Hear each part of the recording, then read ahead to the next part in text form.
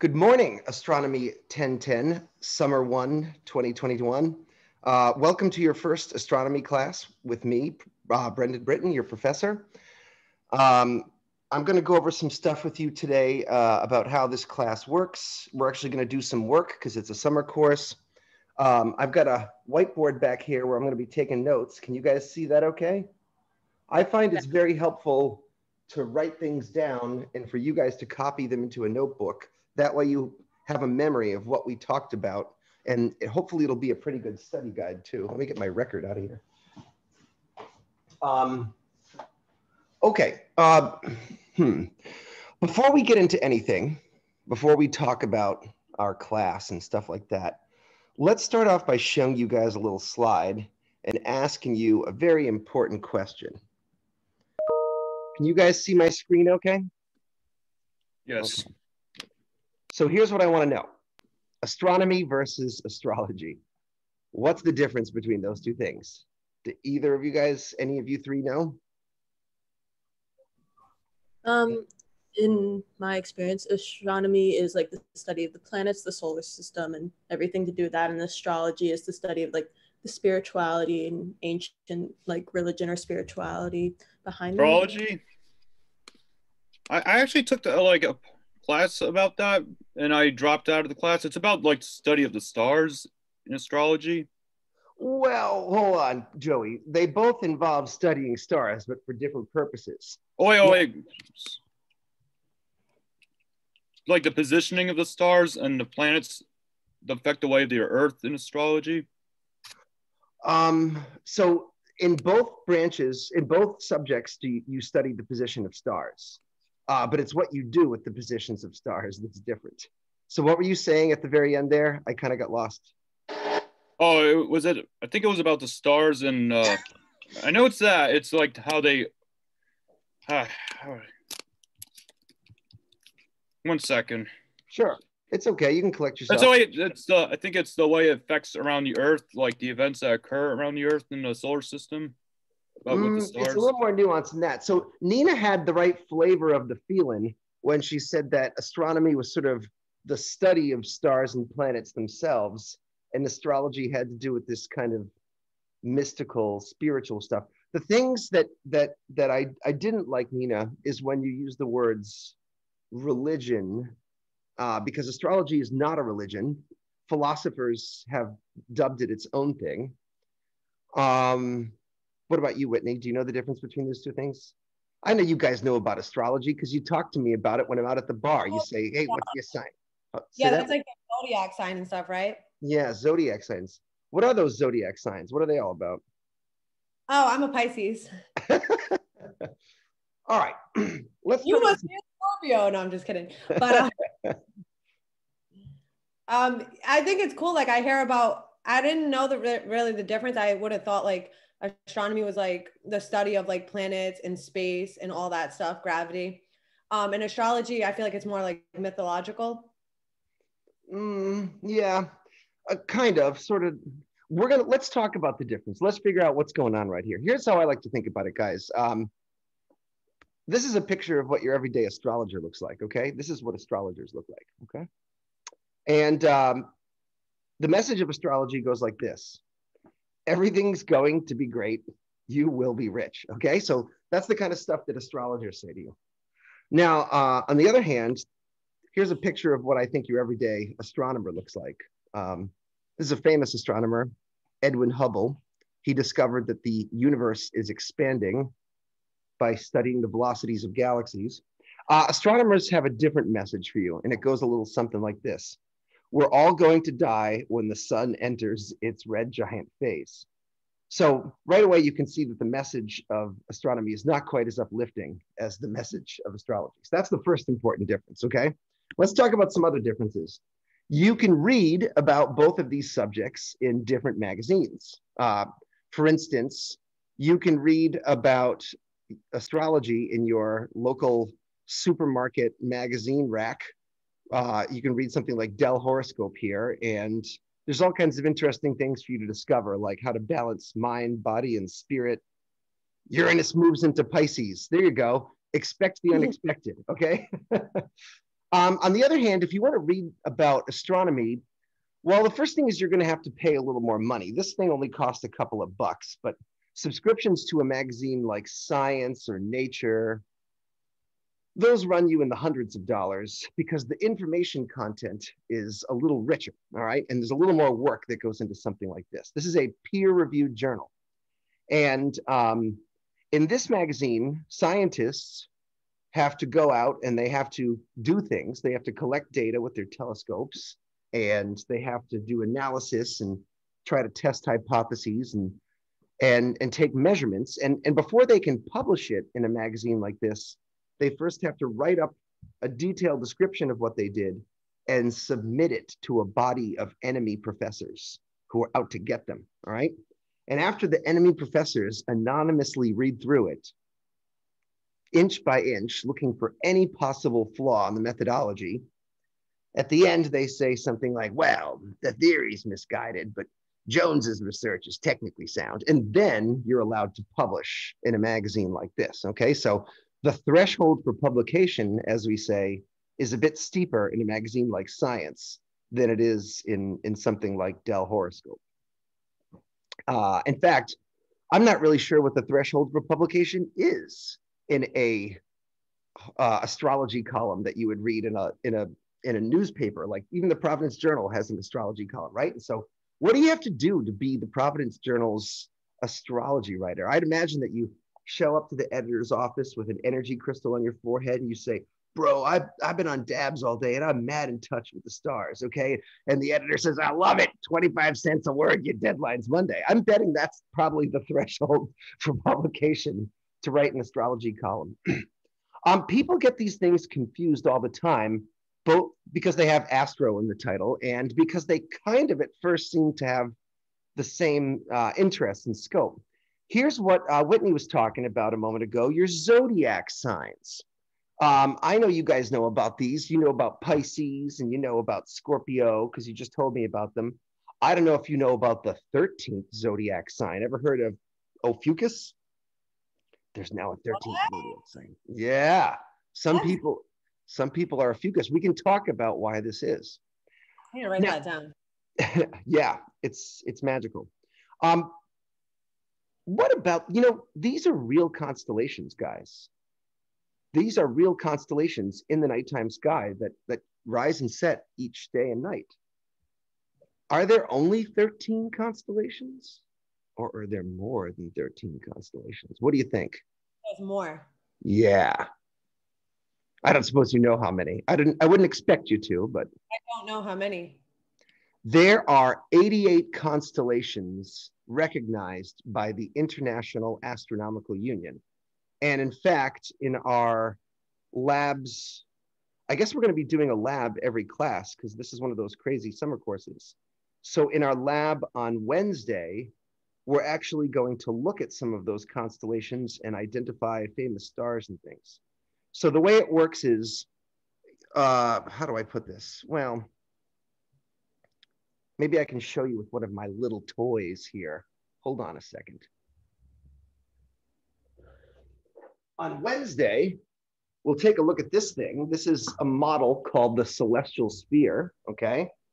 And if you think about it, if you're standing on Earth, you can look out into outer space in something like 360 degree directions. Now, there's a whole lot of stars out there, but as far as you're concerned, if you're a little ant that just kind of moves around on the surface of this planet, you can only look in so many directions. And so the body of professional astronomers, the International Astronomical Union, they've sort of blocked out the sky into 88 constellations, which roughly correspond to the historical constellations that people have been looking at for thousands of years, like before science even existed. So I guess my question, what I want you guys to start thinking about is if there are 88 constellations in the nighttime sky to choose from, why do astrologers only care about 13? And furthermore, why are there only 13 personality types? That seems pretty limited for a planet that has billions of people on it, but I don't know. No one's asking me. Uh, Why does astrology only concern itself with 13 constellations? Do any of you know why?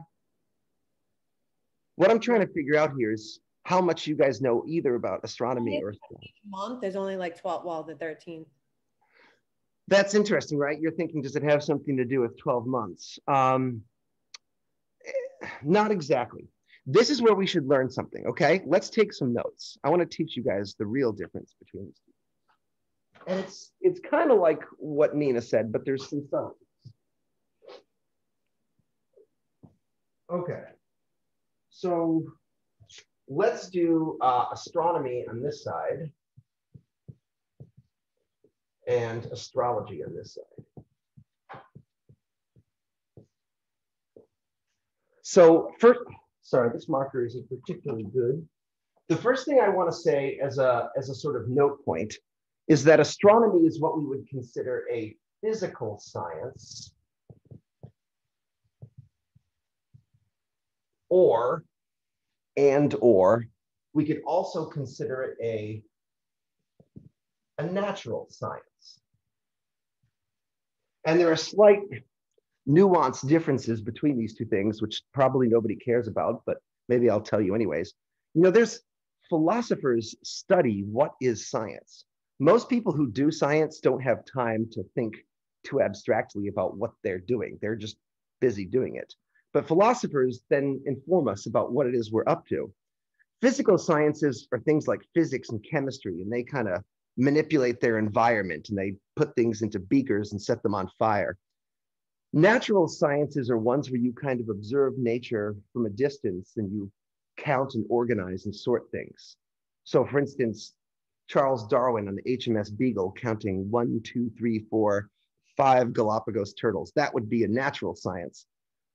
Physical sciences are where you you build things and you squeeze them and you bend them. Astronomy has aspects of both. Traditionally, it was a natural science, but today, I don't know if y'all know, but we have rovers that are, you know, traversing the surface of Mars, and we shoot lasers into the rocks to analyze their chemical spectrum. That's very much like a physical science, right? Um, and I suppose if we had to define it, we could say it's the study of all kinds of things that happen when you look up, right? The study of stars. In our class, we're going to focus on planets, moons, nebulae,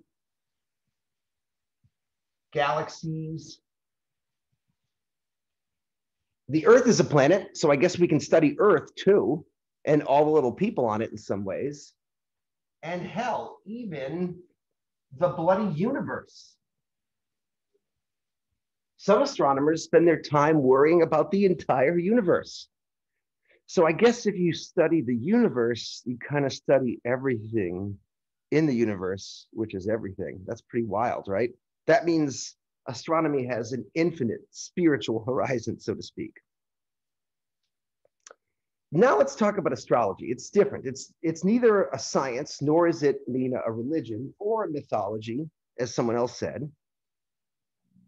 Let's start with the central premise of astrology. And this is why there are only uh, 13 zodiac signs. The premise of astrology is that the location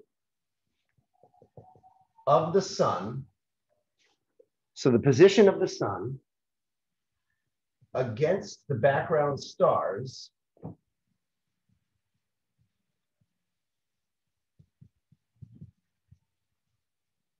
Can you read that okay, Nina? It's a little small. Hey, uh, by the way, I just want to make sure you guys know how to do this live Zoom thing. Uh, for all, by the way, anyone who's hiding in the background, I have a name for you. I call you trolls. So for all the trolls, yeah, don't troll me. um, uh, if you don't know how to use this thing, oh, there's Nicole. All right, we have some people here today. Um, just in case you've never done this live Zoom thing before, there's a little button in the upper right-hand corner of your screen that says view, and you can toggle between gallery view and speaker view. When I'm taking notes, I toggle to speaker view and then I click on my face in the little boxes at the top.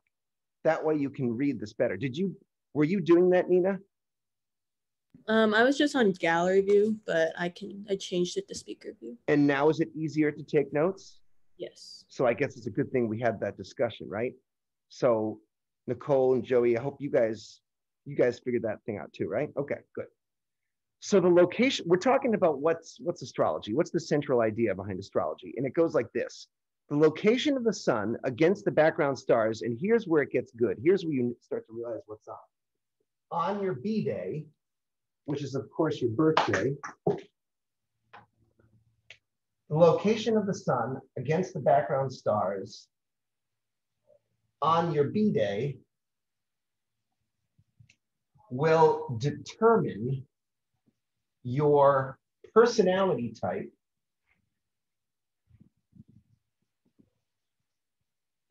and or your destiny. So the location of the sun against the, in fact, that might not even make sense to some of you guys. What the hell do I mean by that? Well, let me show you a little diagram to help you understand. You getting all that? You copied that down? Okay. Yep. Everything I write down, I want you guys to write down. That's important, okay? Um, let me show you a little picture here to help you all understand. I want you to look at slide 56 with me for a second obviously you're on a planet called Earth and you're going around the sun. I don't know what you all know, but maybe you heard that before, okay?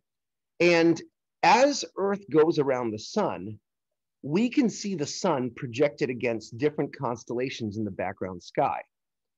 Earth's orbit around the sun is pretty darn close to a circle, and that circle maintains its orientation in space. So year after year after year, we see the sun projected against roughly, this is a little bit of a lie, but I'm going to start off by lying to you. So year after year, you can see the sun projected against the same sets of constellations. For instance, in March, the sun is located in Pisces. And uh, over here in June, the sun is located in Gemini. And in September, the sun's located in Virgo. Now, if you were a pesky student, I don't know if we have any pesky students this semester, but a pesky student might ask me a question. They might say, well, how do you know what constellation the sun is in? Because it's up during the day, you can't see any stars. I'd say, well, all right, that's a good point. But what you could do is you could wait for sunset. And just after the sun sets, you could sort of observe what constellation is there. And if you did that very carefully for an entire year, and humans have done this, they've carefully mapped out which constellations they see right near the sun just before it rises and sets. And over time, you start to even get a little smarter about it. You start to realize, okay, well, if I can see Virgo up at midnight, then that must mean the sun is in the constellation that's opposite Virgo, which is Pisces. Anyways, so you see, this is possible to do. You can keep track of what constellation the sun is in.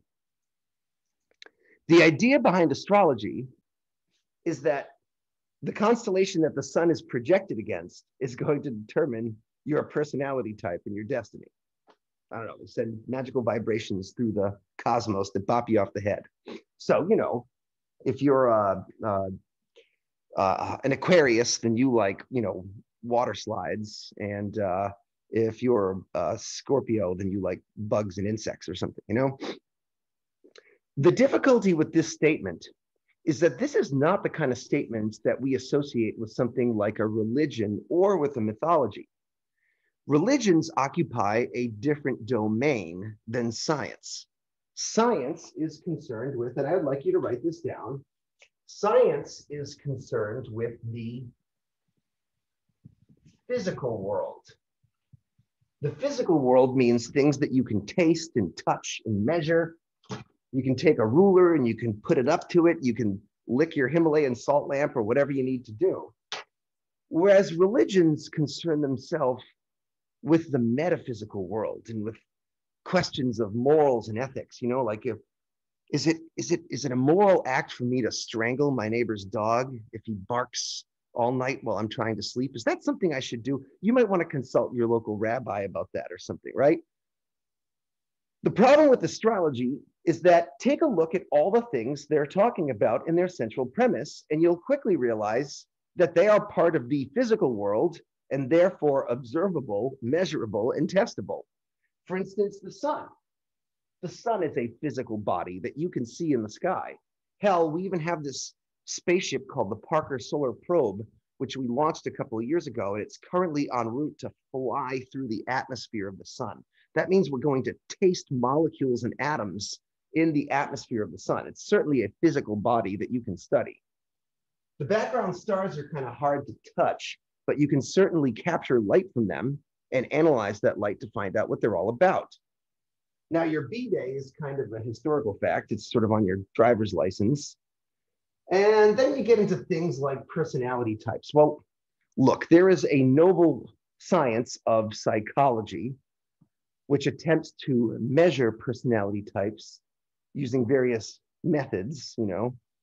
I guess in the past it was the Miggs-Bryer personality test. You ask people some questions, you know, do you like puppies or do you like kitties? Do you like popsicles or do you like ice cream cones? And then they would try to put you into a category like you're an alpha wolf or she's a beta fish or something like that. But you know, I don't think they actually use that thing anymore. I think that's bogus. But there is a noble field of psychology which attempts to measure personality types. And then there's your destiny, which is like, okay, wait until you die and then find out what you did. All right. Did you do anything cool? Well, it turns out that there are lots of people who've gone out and carefully measured the position of the sun and the background stars and compared it to people's birthday and cross checked it against their personality type. And they found out that this is a completely false statement. All right, so this is, and you should write this down, it's a false statement. It turns out that there is no relationship whatsoever between your B day and your personality type and the location of the sun against the background star. Okay, so sorry you're born on Albert Einstein's birthday. That don't make you Albert Einstein, okay? And even the, the, the most casual observer of human nature would quickly realize that there are way more than 13 personality types in this wide, wonderful world. Of course, they try to make it a little more interesting to compensate for that. They also, they got your moon sign and, you know, where's the planets and the seventh house of Sagittarius. It's all bullshit. None of it's true. And, and the philosophers who are confounded with this piece of nonsense then have to decide what do we call this? Clearly, it has no spiritual value whatsoever, but it doesn't even like, like what they say about astrology is it, it, it doesn't uh, self self uh, hold up to its own premises. Like it, it makes statements that are just clearly not true if you go and investigate them in a systematic way. So philosophers have dubbed astrology as a pseudoscience. A pseudoscience is something that uses technical jargon in the language of science, but actually does not hold up under self scrutiny or have any of the things that it say need to have any relationship to the truth. So that's why I was a little hard on you earlier, Nina, when you were, I mean, you had the right idea. It's some hocus pocus, right? But but it's a pseudoscience. That's what we call it. Now, a question. Yeah, sure. Let's talk. Would you argue that to some people it wouldn't be considered like a spiritual practice? Um, well, then those people would be spiritually lacking and unfulfilled, in my opinion. Because as far as I understand astrology, it, it's not like like the the Upanishads or, or, or there's some sacred Torah or texts that gives you morals and principles by which to live your life. Literally, if you look at these astrology, if you go and check your co-star, it says, mm, magical numbers are floating around today. I think you're going to meet someone at Stop and Shop. I mean, it literally says things like that, which that doesn't sound like a recipe for me or anyone I know to live their life. So I think for it to be spiritual, it would need to have some guidance about ethical or moral behaviors, right? And I, I just don't think they're there. I mean, I, I know that there's a bunch of different sects of astrology. Oh, you know what? I didn't even tell you the best part. You know what the funny thing is? The, the most the most hilarious part about this astrology thing. This is you know the chef kiss here, but it turns out that the moon exerts these gravitational torques on the Earth. Um, it, it's sort of a, a, a, weird effect of gravity in, in the moon's rotation. And over a really long time, over 26,000 years, it causes the Earth to kind of twist on its axis and it precesses like a top. And the reason I'm telling you about this 26,000 year precession of Earth's axis tilt, maybe we can talk about that later, all right, is that by twisting the orientation of Earth against the celestial sphere, it slowly drifts and shifts the position of the sun against the background stars, but really, really slowly so that it people don't usually notice it.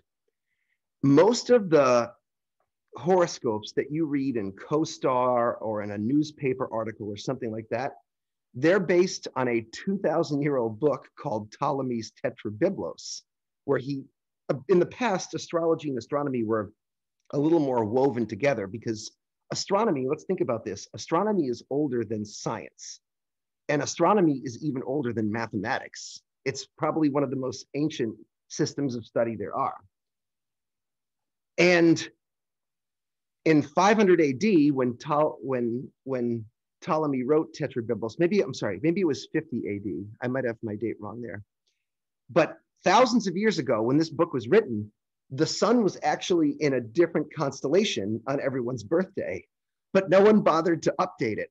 So, for instance, if you, uh, I don't know, Whitney, you said you're a Pisces. What's your birthday? Sorry, you're muted, buddy. Sorry, February 27th. February 27th. There's a good chance that the sun no longer appears in Pisces on your birthday. Let's find out. Let's grab my celestial sphere. Let's be scientific about it. Let's make an investigation. I have a little thing that represents the sun. See that little yellow nubbin? And I can move it along the dates of the ecliptic, which I'm going to teach you about later. And I'm sorry, did you say February 27th? Yes. Okay. this is great. So it might be a little difficult for you to see. Let me go to the speaker view here. Check this out, buddy. On February 27th, when you were born, probably sometime in the last 20 or 30 years, I don't know how old you are, but, but this globe is much more recent than Ptolemy's Tetrabiblos. When you were born, the sun was actually in the constellation of Aquarius. So, so, Whitney, I got a question for you. If astrology is supposed to be your, if your sun sign is supposed to be where the sun is on your B day, what does it mean to you that the sun was actually in Aquarius on the day you were born? Does that make you an Aquarius, or does that, that change my whole world? And I don't even know what I should do right now. Yeah, I don't know either. I think you should register for Astronomy 1010, the solar system, with your pal Brendan Britton and discover all sorts of cool things about the universe. That's an idea. Um, uh, here, guys. So people get these things confused, right? What about this? This is what I want to talk about. Anyone know what this is, this picture? This is an iconic rock star photograph from outer space. It's called the Horsehead Nebula. It's named after this little seahorsey shaped cloud of hydrogen gas. This is what the real universe is all about, my friends. It's way freakier and weirder and crazier and more abstract than anything you read on your co-star, all right? And most of the universe, most of reality is this stuff. It's cold clouds of hydrogen gas floating and glowing in outer space, giant spheres of plasma with nuclear reactions inside them, crusty little bits of dried out planets rotating around them. That's some weird stuff. And I want to know more about that. You can't read about this in your co-star, okay? So what's the moral of my story? I don't know what you guys plan on learning during this summer session, but let's all start by learning this important fact. Astronomy does not equal astrology. They're not the same thing. And if you write me an email and you say, Dear Professor Britton, I am in your astrology 1010 class, I am going to move my mouse over to the delete button and pretend like I don't know you. Okay. So I don't want I don't want to hear anyone making that mistake. Ah. And with that in mind, welcome to our class. Okay. Welcome to Astronomy 1010, the solar system, where we're going to learn about all kinds of cool things in outer space. Although this class focuses mostly on the solar system and learning about the planets, which are interesting. And I've got lots of fun pictures to show you along the way.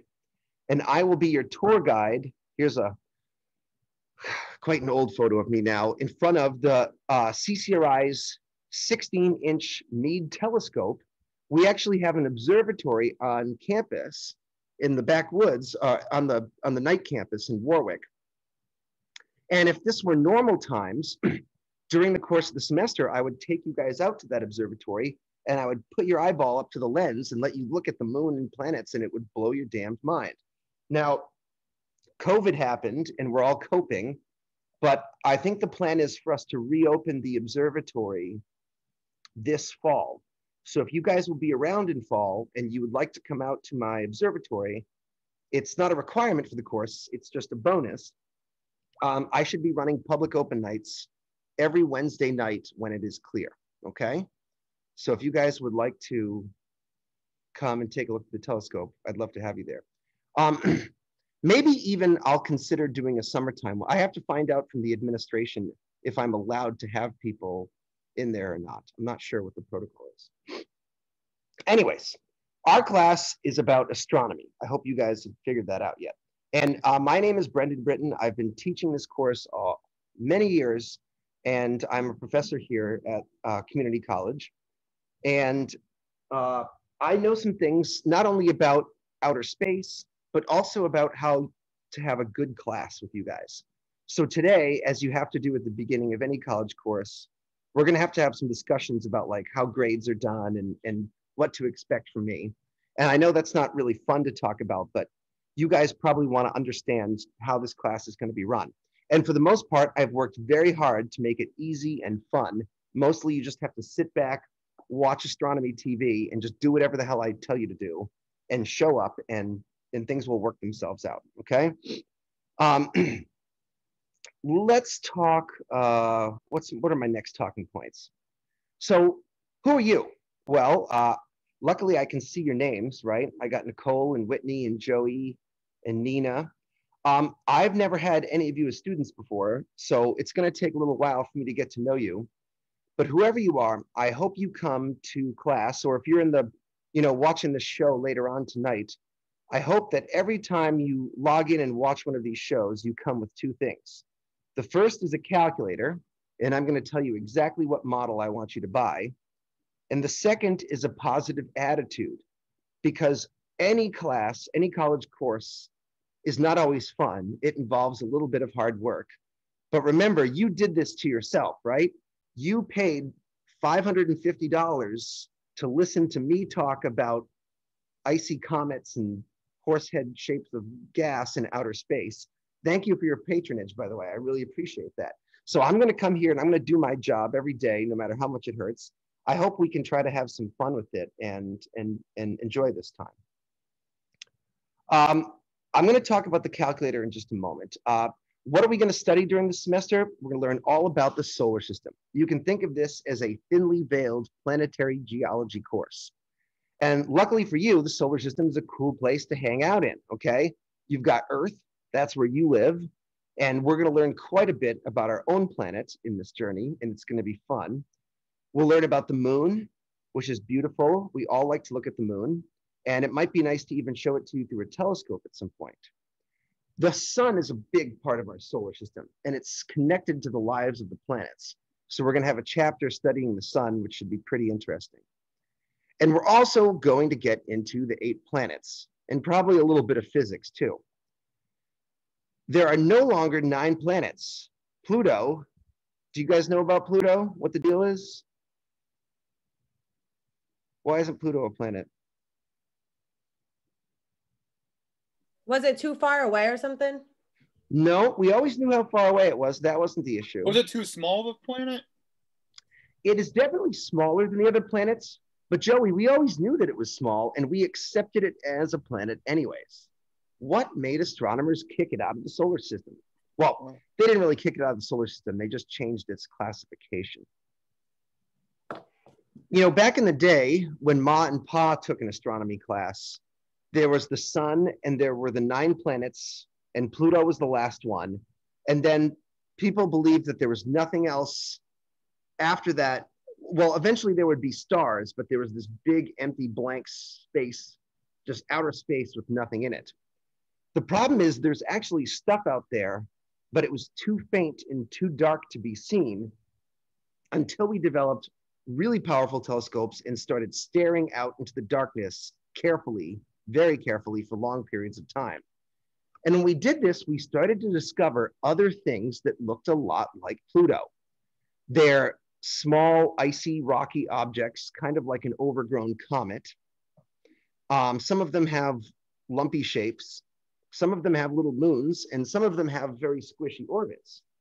And after we found about a dozen of these things, people started thinking, geez, what happens if, if we find one that's bigger than Pluto? Are we going to make that a planet? Because it seems like we kind of have to. But then they got some graduate student to do a little calculation and they discovered, well, geez, if we've already found, you know, like 50 of these things and we've only been looking for a couple of years, they estimated that there could be like anywhere from 100,000 to a million of these so-called Kuiper belt objects floating out there with Pluto. In other words, there are hundreds of thousands, maybe even millions of Plutos, and some of them are bigger than Pluto. And eventually they found one in 2003. The guy who found it tried to name it Xena because he liked the TV show Xena Warrior Princess. And the International Astronomical Union said, no, no, no, no, we can't let you do that. Um, so we eventually named it Eris. And Eris caused a kind of psychotic break for planetary astronomers. They had to decide if we were going to have a solar system with 100,000 things that looked like Pluto and then eight other weird objects, or if instead it made more sense to redefine what we meant by a planet. And they used the fact that Pluto's orbit is a bit squishy and it, it's surrounded by other objects similar to itself. But Pluto is still interesting. We now just consider it a dwarf planet along with Eris and this giant asteroid, uh, asteroid called Ceres. So these are kind of things that I want to teach you about um, during the course of this semester, okay? Because this is a physical science class, it's going to involve measurements, and measurements tend to make you want to do a little bit of math. Astronomy is deeply connected to the subject of physics, and some of our lectures are basically going to be straight up physics lectures or baby physics lectures. And this class is going to involve some math at the level of about an Algebra 1 class. And I know that causes people some anxiety. Um, one person wrote me and said, Hey, look, I haven't taken a math class in forever. I didn't know there was a prerequisite. There is no prerequisite in math for this course. And that's because I'm going to assume that you are not really good at math. That's usually a good assumption, by the way. Okay. And so I'm going to teach you what you need to know as we go. And all you're going to really need to do is follow my instructions. Now, the first instruction and the most important instruction, I want to find the two different versions here, is that I need you to buy a very particular calculator because there's a lot of you and there's a bunch of you at home watching this video later who don't even get to talk to me. I mean, you can write me an email, whatever, but most of you won't end up talking to me. You'll just hide in the shadows like trolls. I'm going to give very particular instructions for how to do the math in this class on, on this calculator. There's two different versions of it, but they're the, exactly the same. It's the Casio, hold on. I have a focus control here. It's the Casio, huh. Sorry guys, I'm, that's fuzzy. Hold on a second.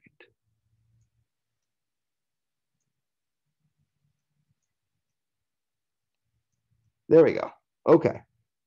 It's the Casio FX260 solar calculator. You're going to love this calculator. It only costs eight bucks at Walmart. It's solar powered, which is kind of symbolic for an astronomy class. The batteries will never die on you. It doesn't weigh a lot. And it has all the buttons that you're going to want to use in a convenient to locate place. Now, I don't care if you've got your own calculator. I don't even care if you took calculus two and you think you're a hot shit.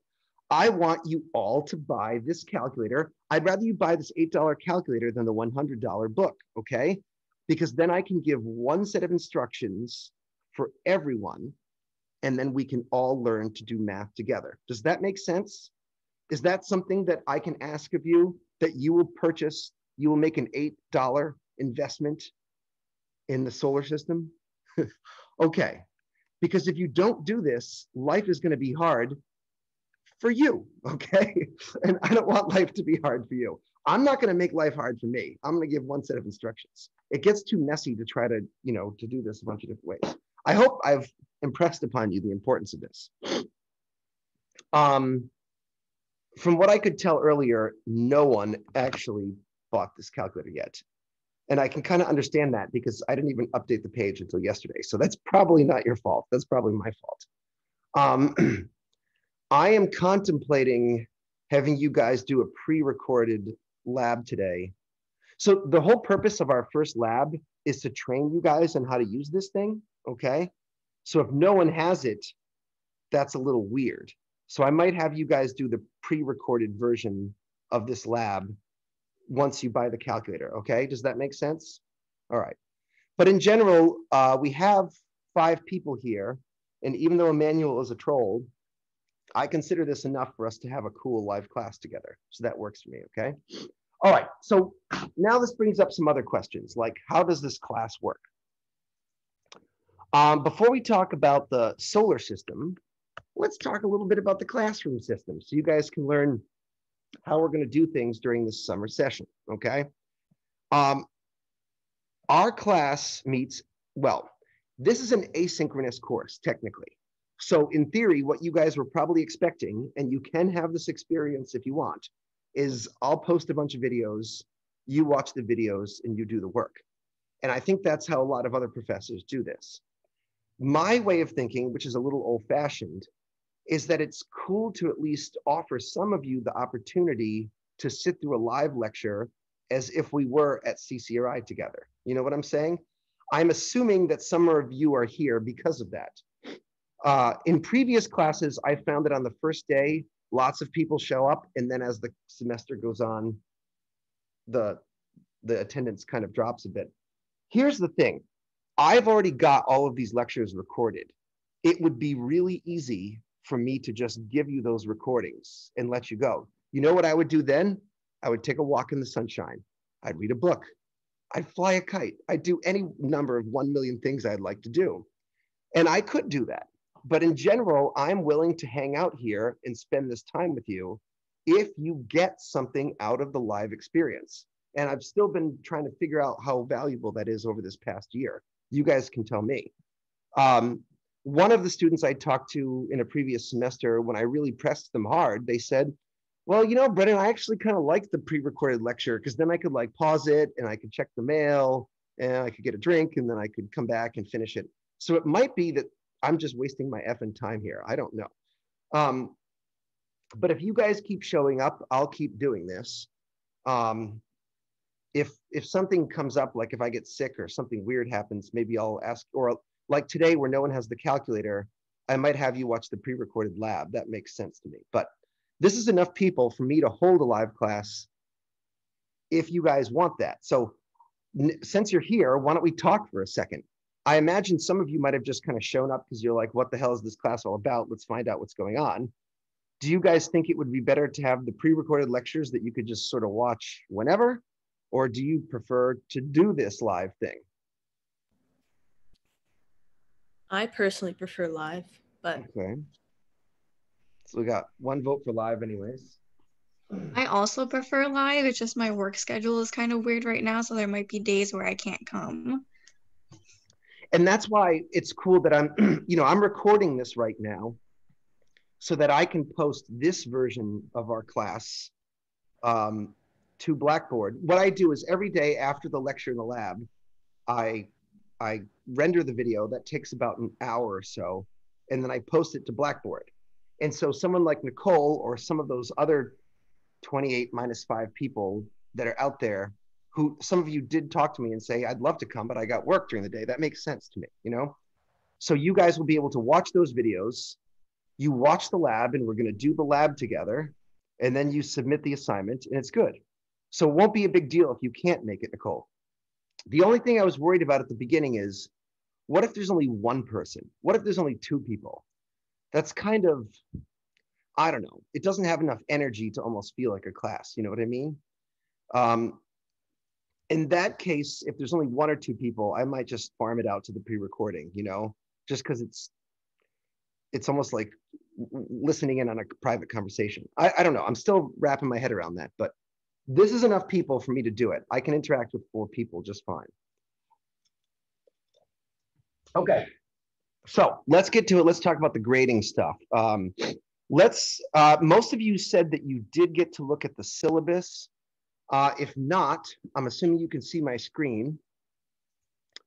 Uh, let's pop over to Blackboard in case someone out there doesn't know how to use it. On the left, you can see these tabs where I've got stuff for us to do. Um, this is the syllabus and schedule tab, and you guys can download or you can open up the syllabus and the schedule. I've already done that.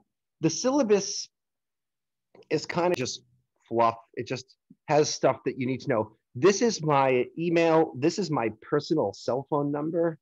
Since I don't have uh, an office that you can come to, I'm okay if you guys want to occasionally text me or call me. I'm a normal human just like you, and I don't mind. You know, you can call me whatever. You just might have to put up with whatever state of inebriation I'm in at the time. But I will try to help you as best as I can. Right. Um, if you guys want to have a, a, private meeting about something at some point, like people used to come by my office, we can set up a little one-on-one Zoom to talk about something if you have a personal issue, whatever. Otherwise, here's the plan. We're going to do lecture from 12 to 3. Um, that's how long a typical uh, four-hour class lecture is. Our laboratory is supposed to be 3 to 4.30, but I'm going to try to cut some corners and try to finish by 4. I know you guys have other things to do in your life. Um, the homework for this class is really challenging. And if I let you try to do it by yourself, you'd probably do a bad job and you would get upset and then I would get upset. So a better solution instead of doing that is we should probably just meet and all do the homework together. That will actually be the most efficient for you time-wise and it will keep your grades really, really high.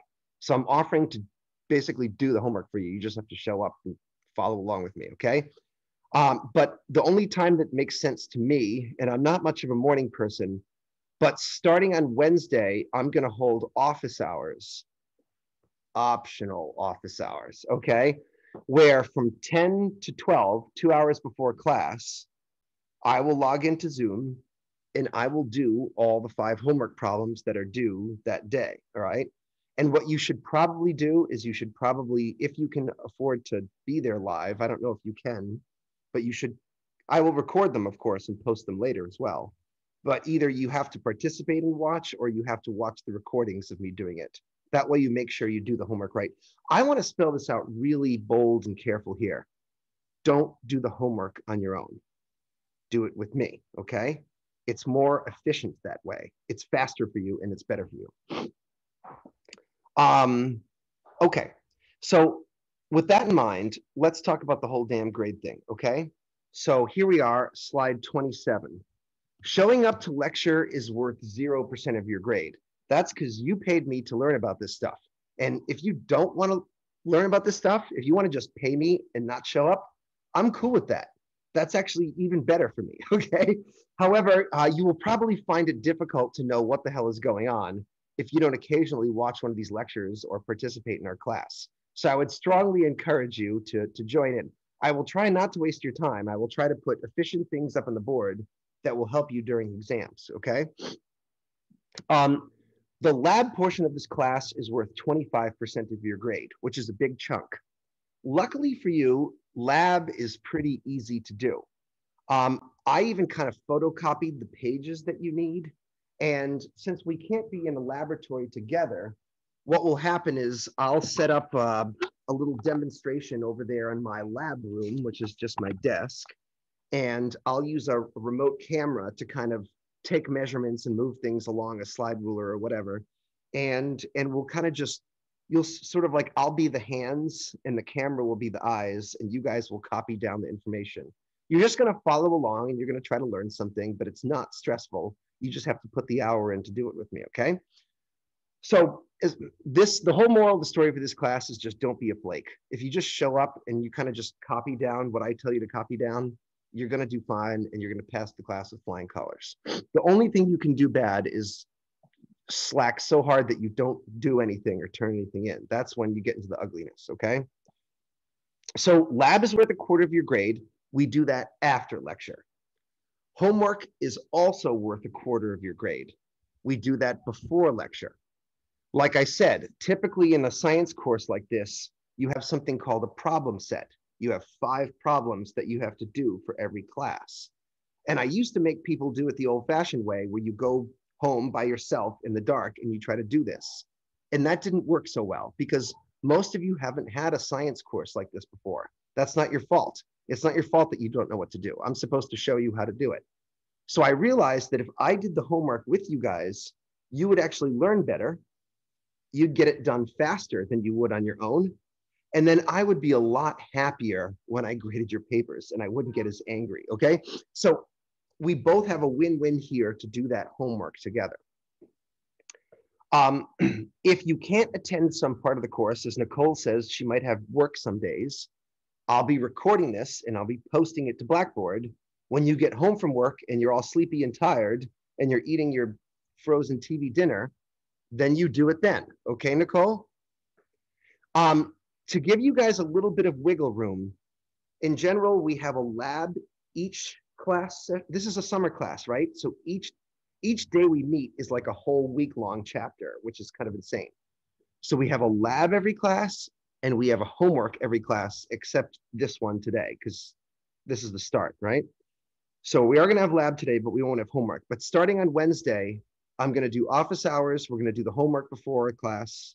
Then we'll do lecture. Then we'll do lab. It's going to be a long day. I'm going to own your life for a little while. I'll try to have some tea breaks and pauses so that we can all like chill out. Usually I like to do tea break around 1.30 for, for a three hour class. That's like 20 minutes to have tea or do whatever it is you want to do, okay? Um, I do understand that it's very difficult to listen to someone talk for that amount of time. I, I just don't know what other solution there is. Um, the only other way you can score points in this class, oh, uh, hold on one second, guys.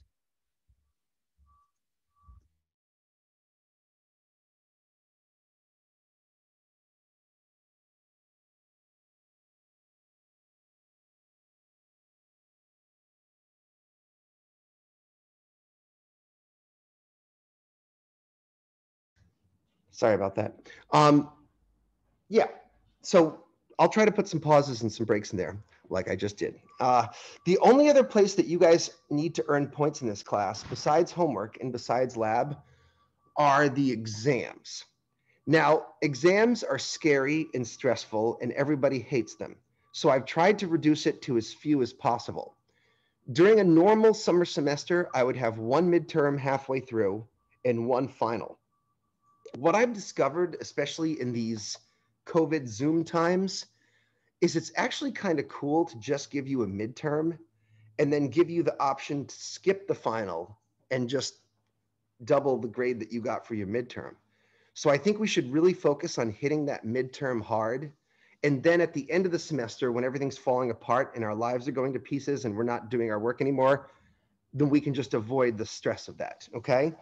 So the date that I have, well, okay, there's a lot to talk about and it's taken me a while to do it, okay? Um, I'm gonna show you the syllabus in a second, but I want you guys to keep this in mind. Your grade is like a number system, right? I add up all the points you got for homework and all the points you got for lab, and I add up the points you got for a midterm. And if you want to skip the final, I'll just double the midterm grade. And then I divide by four, and that's your grade. And I'm probably going to put a little bit of a curve on that final score. I'll tell you about that after our midterm. I have a little bit of a curve to help things. but mostly your grades and number system. And the simple truth is, if you just turn in all your labs and all your homeworks, it won't even matter how bad you do on the exam. You'll still pass the class. The only way to fail this class is to not turn in labs and not turn in homeworks. Now, the way this works, let's take a look at our schedule and our syllabus here. The other paper that I, that I gave to you, which is actually the more important paper, is this one. This is going to be the grid that kind of keeps us on track. And this is our plan for the entire seven week semester. Today's Monday, May 24th. The title of our class is The Nighttime Sky, some little bitty notes on what you're going to be learning about. If you do have a book like Nina does, uh, we're going to follow chapter two, okay? Today's lab is measurements and powers of 10. These five homework problems for homework one, that's the homework that I will go over Wednesday from 10 to 12, okay? This week, we'll have lab one today, homework one on Wednesday, and lab two on Wednesday. So that's three assignments for this week. For anyone watching the videos later, I will give you until Sunday at 11 p.m. to turn those things in on Sunday night, late at night, I grade all the work for the week. It's a very unhappy time for me. And then I close the books for that week. I can't let you guys turn in anything any old time you want because literally all 28 times two of you will wait until the last day of class and then try to turn in everything. And then I will fucking hate you all. Okay. I cannot have, and I've, had people, not like one person, like a lot of people do this to me. I cannot grade all those papers in one day. So we have to do this in bite sized morsels. Do you understand? I need to make this rule really, really important. Now, obviously, like if you got in a car accident and you lost your arm, maybe we can horse trade a little bit for like a day. All right. One, one day per limb. That's the rule I'm going to make. But bearing some completely hideous accident, I think, oh, you know, giving you until Sunday should be enough time to do this. Does that sound reasonable? Can you do that for me, please? Okay. Even if you do have work, you should be able to squeeze out just two hours for lab and two hours for homework between now and Sunday. I guarantee you it's less time than you will have to spend on other similar courses. All right. I'm not asking you to write any crazy papers, do any group projects or presentations. It's the minimum amount of stuff that could possibly be done and I do it with you. Okay. So you couldn't ask for a better deal. Just get it in each week. If you don't, it's going to be a zero, and that's that. Okay. Um, so yeah. Uh, by the way, the homework problems are from the book. Um, you'll notice when you when you look at the homework section that I've actually scanned the problems, and I'm going to try to train you on how to do them so you'll be ready for them during the course of our lectures. So I know I'm kind of going on and on about the administrative stuff here, but let me just show you the screen. Let's go to homework session. Excuse me here. Blackboard is glitchy. I'm sure you guys know this already. Um, this is our first homework assignment, to make available, which we'll do uh, before class on Wednesday. See this thing here, this chapter two PDF? That's a scan of the questions from the book. So when it comes time to do the homework, usually like a couple of the questions will be like a short answer or essay question. Here's our first one, a new planet. A planet in the solar system has a circular orbit and an axis tilt of 35 degrees. Would you expect this planet to have seasons? If so, would you expect them to be more extreme than the seasons on Earth? If not, why not? Now, you guys probably don't know the answer to this yet because we haven't had a lecture on it but hopefully you will by the time it's time to do our homework. And if you don't, I'll explain it to you, okay? But some of the problems we're gonna do like a little paragraph or two essay. Some of the problems are gonna be math questions that ask you to calculate the diameter of the sun or convert an angle from degrees to arc minutes. I'm gonna train you on all of that and I'm gonna show you how to do it with your Casio calculator. You just have to work with me, okay? All right that concludes lecture zero, which is kind of just how the mechanics of the class work. You guys will notice also that I've provided you with some really crappy Roman numeral outlines in the section called lecture notes, okay? So today, excuse me, these things look glitchy. Um, today, we're trying to cover lecture zero, and lecture one starts today. And I, well, yeah, actually, we're supposed to complete all of lecture one. So uh, these are not inclusive study guides, but if you do want to kind of understand my top-down structure and how I'm trying to go, this is the stuff. See what we just did there? We did astronomy versus astrology. Welcome to astronomy uh, 1010. You got to have some math. Here's how our class works. You see all that?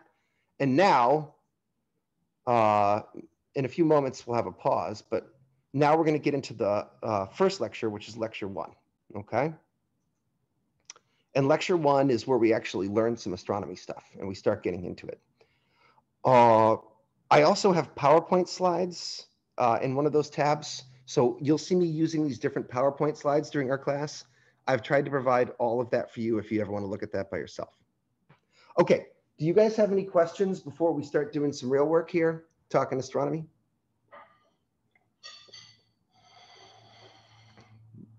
I covered everything? That's how good I am, huh? Okay. For anyone watching later, I just want to repeat myself. If we do hold a live class, I will post the day's live class in lab. If we do a pre-recording, I will repost that link for you as well. Um, when I have to, to make a video of these lectures, I have to render them and that takes a couple of hours. So once class and lab ends, I have to sit there and let my computer print it, and then I have to upload it to uh, to to YouTube.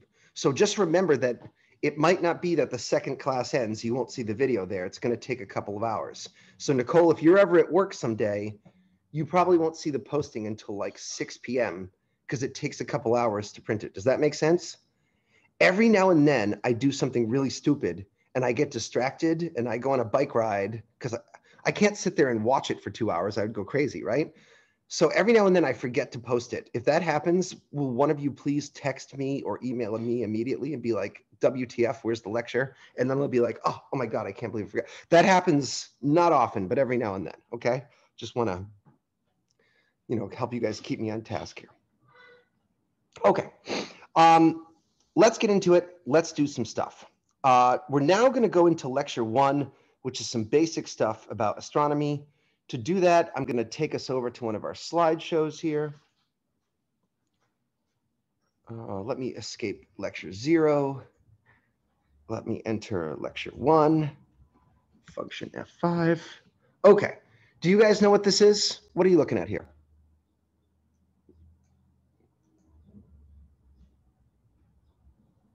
No? You don't know what this is? Is it Orion's? That's right. How'd you know it was Orion, Nicole? I really like constellations. I, I really like constellations too. But what tells you that this is Orion? What do you know about Orion? The three stars in the middle is Orion's belt. That's right. That's the belt of Orion, right? And then this star is called Betelgeuse. That's one of his shoulders. This star here is another shoulder. Okay. Down here, this bright blue star is called Rigel. Rigel, someone in my apartment is making tea. One second. Could we turn that thing off? Bloody hell.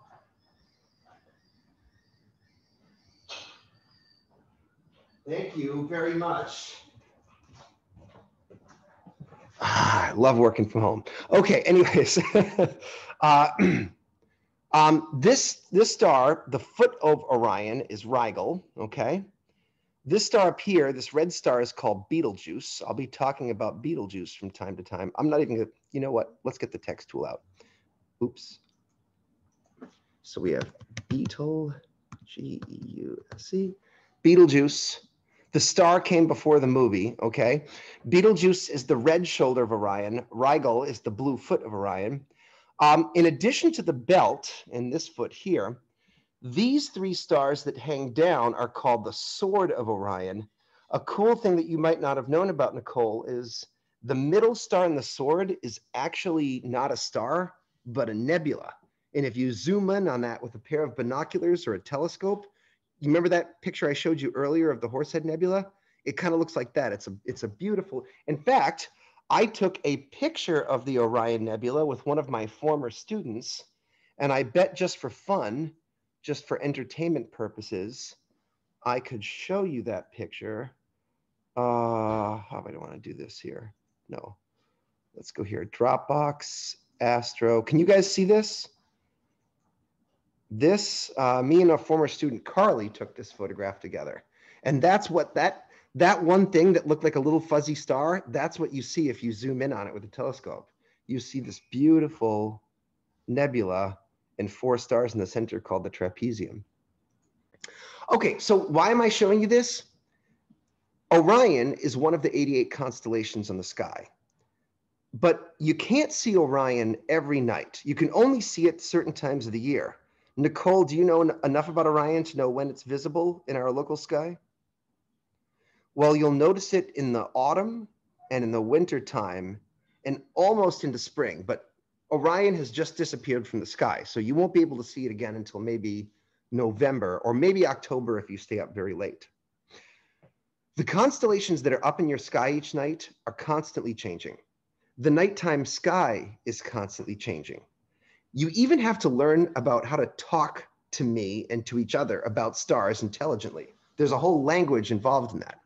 And that's kind of one of the ideas behind our first lecture is how do we talk intelligently about stars? How do we describe their motions across the sky? How do we think properly when we look up? These are things that it took people thousands of years to develop. And I'm going to digest it into a couple of three hour lectures and train you. Okay. So I'm going to also teach you some skills along the way too. Um, let's look at one of our next slides here. Uh, you obviously know that you live on Earth, and Earth, as we mentioned in our previous portion of the lecture, is one of eight planets in our solar system. So for those of you who don't know what the solar system is, the solar system is the sun. Okay, that makes up the majority of the matter in our solar system. There are eight planets. There are some little dirtbag dwarf planets like Eris and Pluto. And there's a big fat asteroid called Ceres, which you probably never heard about. The solar system also includes asteroids, which are mostly located between the orbit of Mars and Jupiter. There are the asteroids. It also includes comets. Some of the comets, uh, the Kuiper Belt ones, are kind of near Pluto and Eris there's a whole other reservoir of comets that orbits around the solar system. That's the Oort cloud. That's something else entirely. So the planets and the sun, the dwarf planets, the asteroids, the comets, also maybe a little bit of dust and some magnetic fields. That's what a solar system is. And I'm going to teach you about all those different components in good time. What happens if you leave the solar system? What is outside the solar system? Do you know?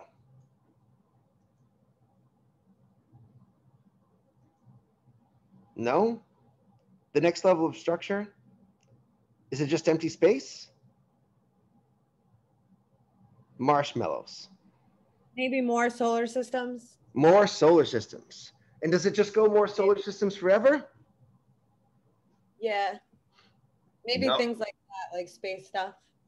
Yeah, I want to. I'm just, you know, sometimes I just got to figure out what you guys know so I know how to talk to you. Okay. What about the, like the Milky Way? Yeah, the galaxies the and all that. Galaxies, right? So, um, the the closest star to the sun is Alpha Centauri. That's maybe four light years away. But if you could keep zooming out, you would realize that we are one solar system, one star in a group of planets out of a great assemblage of stars. And a galaxy, uh, Joey, also contains gas and dust, okay? So a galaxy is basically a big swirl of stars and gas. And there are some other freaky things in there too, but I don't want to tell you about those just yet. For the most part, it's just stars and gas. And our galaxy, the one that we live in, is called the Milky Way galaxy. And the sun orbits the center of the Milky Way galaxy about 30,000 light years from its center. So our sun is kind of like out in the suburbs, okay? orbiting around the center of the galaxy. This is not a real photograph. This is an artist illustration, right? We had to hire one of our weed smoking artist friends, put some spray paint in their hand and have them paint this picture for us.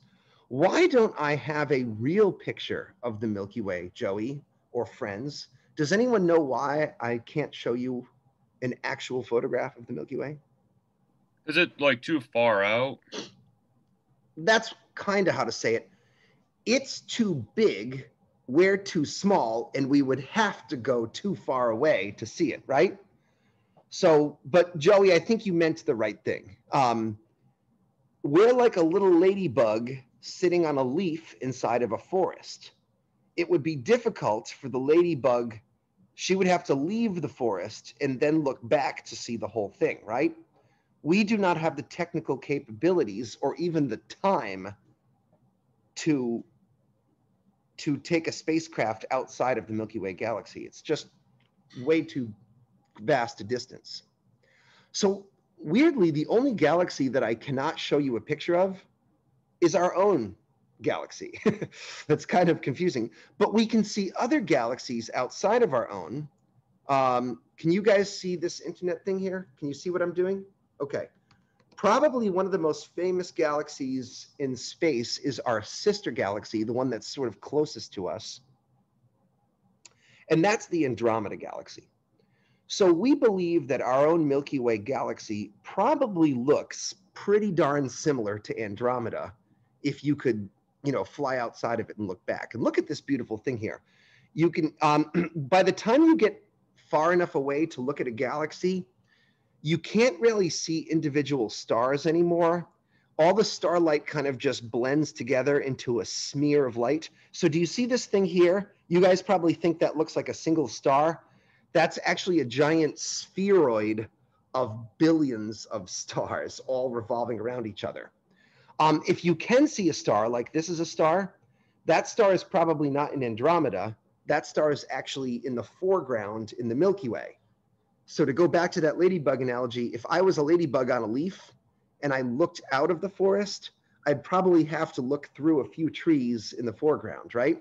So these stars, this one and this one, and this one, these are stars that are in between our sun and looking out of the galaxy to the to Andromeda.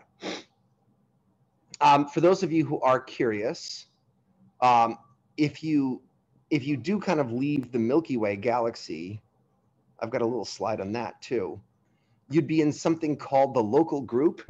So this is probably as far as I'll get until you take the other version of my course. But here's Milky Way and there's Andromeda. They're like 3 million light years apart. But both the Milky Way and the Andromeda galaxy have these little dirtbag galaxies, which kind of orbit around us. So we actually have like little baby galaxies that orbit us. And sometimes we eat those baby galaxies and digest them.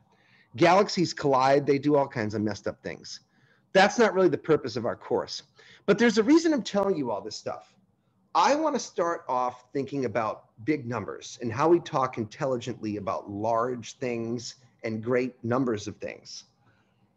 There's no reason you should know the number of stars in the Milky Way galaxy, but I'm going to ask you to guess. What if you had to take a guess? How many stars do you think there are in the Milky Way galaxy?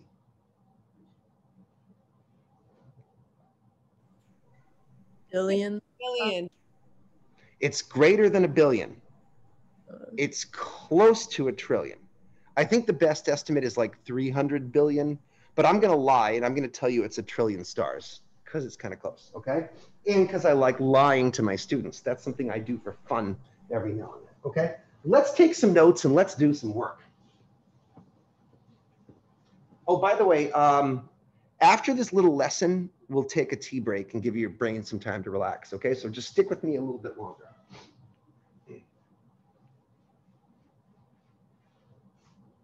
Okay, this is your first lesson of the day. I really strongly suggest you write down what I write down, okay? Lesson one is on something called scientific notation.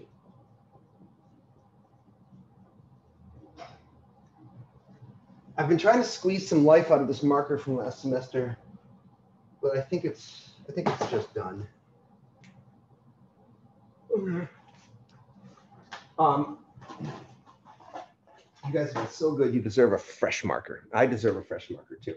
Okay, so scientific notation is how we talk about big numbers.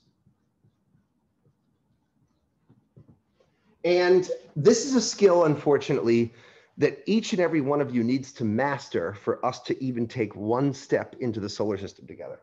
So this is not going to be super fun, but it's super necessary. Um, we're going to start by considering the number of stars in the Milky Way galaxy. And like I told you, I'm about to lie to you. And I'm going to tell you that there are one trillion stars. I'm betting that not everyone out there in the studio audience knows how big a trillion is. Or do you?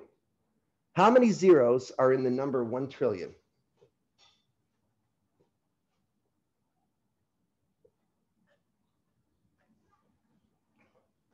No? 12. Let's write it down. One, one, two, three, four, five, six, seven, eight, nine, 10, 11, 12 stars. There are 1 trillion stars, roughly, in the Milky Way galaxy. That's a big number. and to demonstrate just how big it is, I'd like to hold up the calculator that we're going to use in this. Sorry? Was, was that background chatter or did someone ask me something? Okay, let's adjust our autofocus here. Watch this. Watch me do something, okay? This is the calculator that we're going to use in this class. One, two, three, four, five, six, seven, eight, nine, zero. That's it. You want to know what that means to me? There are 10 decimal spaces available to us on the Casio FX260 solar calculator. However, for this number, we actually need 13 spaces, right? 12 for the zeros, and a 13th for the number one. In other words, we cannot plug the number 1 trillion into our Casio calculator in the old fashioned way. That's a problem. And the reason why that's a problem is because this is a, you know, I said big number. This is actually a small number to astronomers. We're going to be working with numbers that are much bigger than 1 trillion. So we can no longer afford to do things in the old way. We need a way to compact this both for our calculators, for our brains, and for our papers when we do our homework. And that technique is called scientific notation. How many of you have had to do this in some kind of a high school class or maybe even at CCRI? Has anyone seen scientific notation before? Okay, Nina and Nicole. Okay, so a couple of you. And it's not going to hurt to have a little review of it because we're going to need to do this all the time, okay? So the way this works is we're going to make use of powers of 10. So if you remember back to your good old and oldie days in math, um, let me just, let me clean up a little space over here somewhere. Uh, okay, so in your, in the olden days, 10 to the power of one kind of means 110, maybe multiplied by a 1. And 10 squared means you multiply two tens together.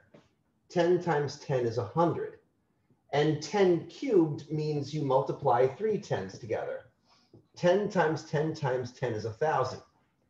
After a while, you start to zoom out in your brain and you realize, you know what 10 to the 3 really means? 10 to the power of 3 means a 1, with three zeros, right? So 10 to the power of four is 10,000, a one followed by four zeros. Okay, now you guys try it. What is 10 to the power of zero? Is it zero? It is not. What? Or is it, wait, I don't, I don't think so. Well, we just decided that 10 to the power of 3 is a 1 followed by three zeros. Is it 1? Yeah. You know what's weird, Nicole? in mathematics, one is the default number. Zero is not a default number. Zero might be the default number in your bank account, but that's not the same thing as algebra, okay? If you're if 10 to the power of 1 is 10 times 1, it's 110. 10 to the power of 0 is no 10, but you leave the 1 behind, not a 0, right? Another way to think about it is if if if 10 to the 4 is a 1 followed by four zeros, then 10 to the 0 is a 1 followed by no zeros, right? That's a different way to think about it. Okay. Hey, don't forget that. That's going to come in handy in today's lab, okay? We can use powers of 10 in math to compact the number 1 trillion. Let's have a little discussion about terms before we do that. This number, the number 1, is called the lead digit.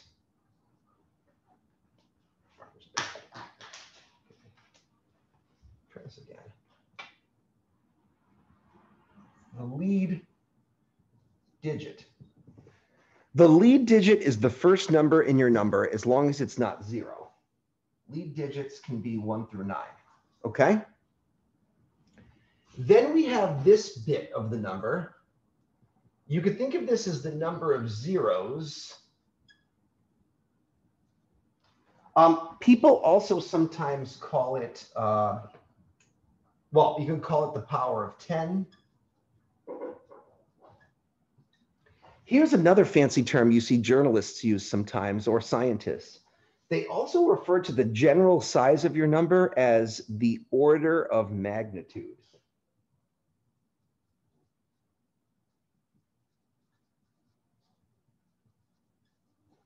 Order of magnitude is kind of a funny way to talk about numbers, okay?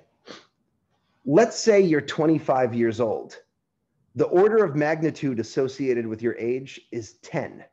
Obviously, you're not 10 years old, but 25 is a number whose order of magnitude is 10 because it has the same number of digits.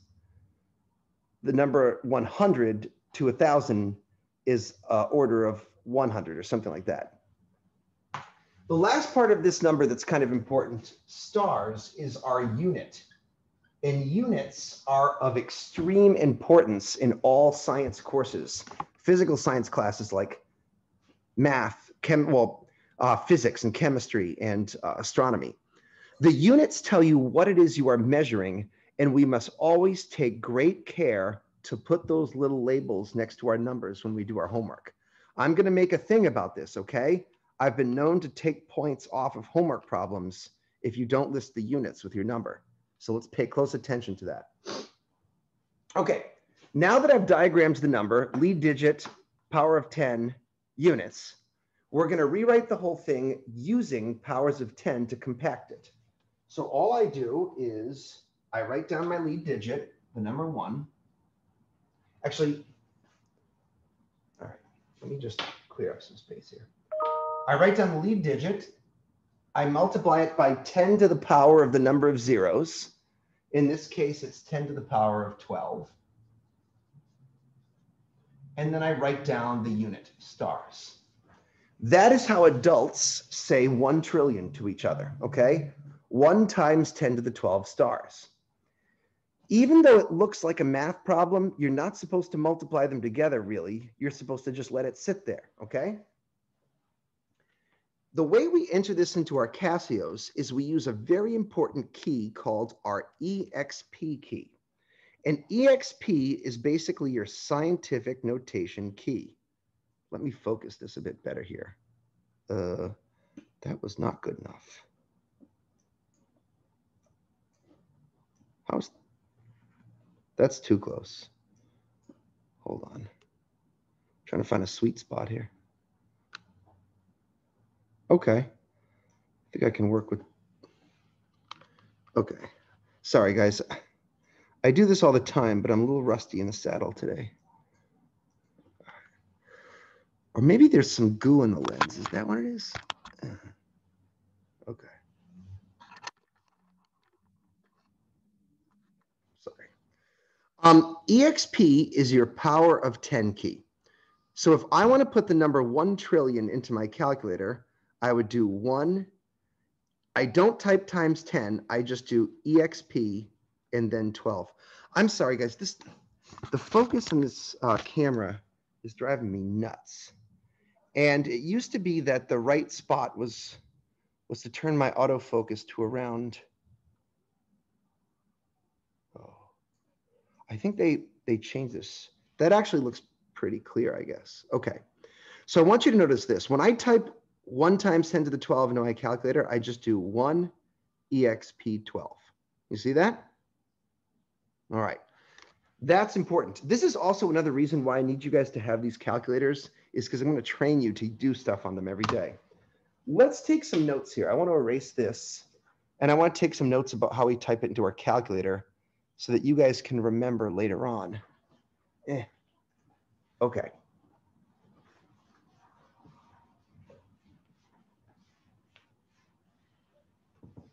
Okay. So for the number 1 trillion, a 1 followed by 12 zeros is written on the page 1 times 10 to the 12 stars. When you type it into your calculator, you will type 1 EXP key 12. You are not allowed to write that down on the paper. You have to write this down on the paper. What you will see on the display is one with a little 12 above it. That means scientific notation mode. You are not allowed to write that down on your paper, okay? See, they don't have enough room to put in the times 10. That would be wasteful. They're relying on you to be smart and to understand calculator speak. Okay. Is it clear to you guys why you are not allowed to write? You will never, ever write on your page 1 to the power of 12, right? What is 1 to the power of 12? Does anyone understand the point that I'm trying to make? I'm worried that you're lost. There's glare.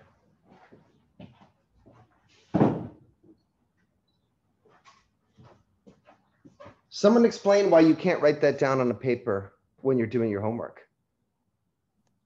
Because 1 to the 12th power would be 1 multiplied 12 times. And the answer to that is 1, right? Yeah. What? So in other words, if this means one times one times one times one 12 times, and that's equal to one, one does not equal one trillion, right? So in other words, Nicole, if you're someone like me and you speak math, if someone writes that down, I'm not going to think you mean a trillion. I'm going to think you mean one. And I'm going to think you're pretty dumb, right? Like that's not the right way to do things. So this is an important point even though that's what you see in the paper, you will not say 1 to the power of 12. You will not write that down. You will put the times 10 back in and you will say 1 times 10 to the 12, right? I'm going to count on you guys to do that. I'm going to yell at you if you don't do it. Watch out. I could be mean. Okay. Let's do a little table of common powers of 10, and this will help you keep it straight when I talk about millions and billions and trillions and things, okay? I'm gonna erase here, guys. I frequently am gonna ask, can I erase? And if, if you're not done copying, you should shout at me. Just to clarify one more time, we Sure. are writing one times 10 to the power of 12 stars or whatever the unit is. Yeah. Um, Nina, can you just rephrase it? Because I'm not sure if I understand the question.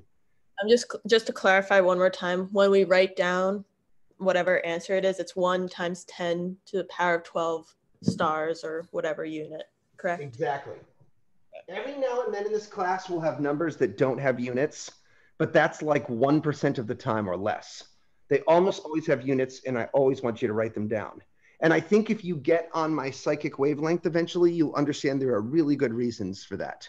You will you will like the, the way I do things if you trust me. Okay. All right. Um, let me do something else I think will be helpful. Let's make a quick little table together. By the way, I want to make a suggestion, another suggestion about this class. Um, one sec here. I would like you guys to get a couple of things.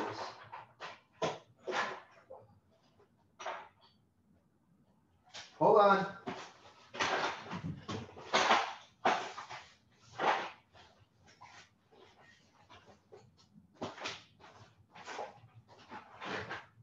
Um, when you're out at Staples or Job Lot and you're buying your $8 Casio calculator, can I make a strong recommendation that will only cost a couple of extra dollars?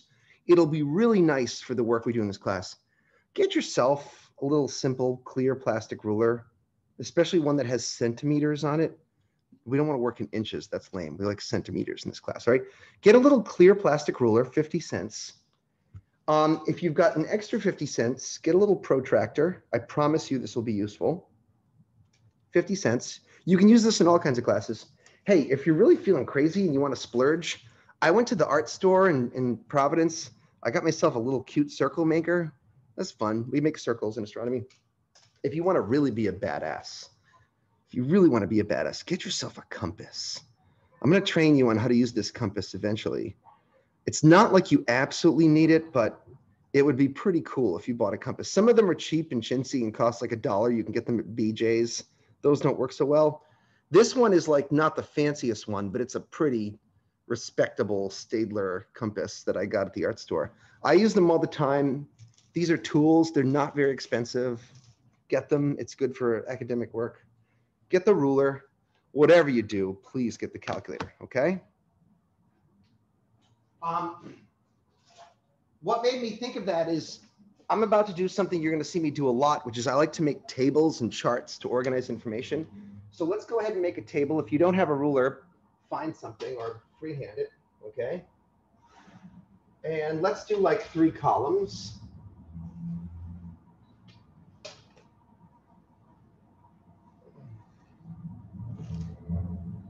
And we'll have a few rows here.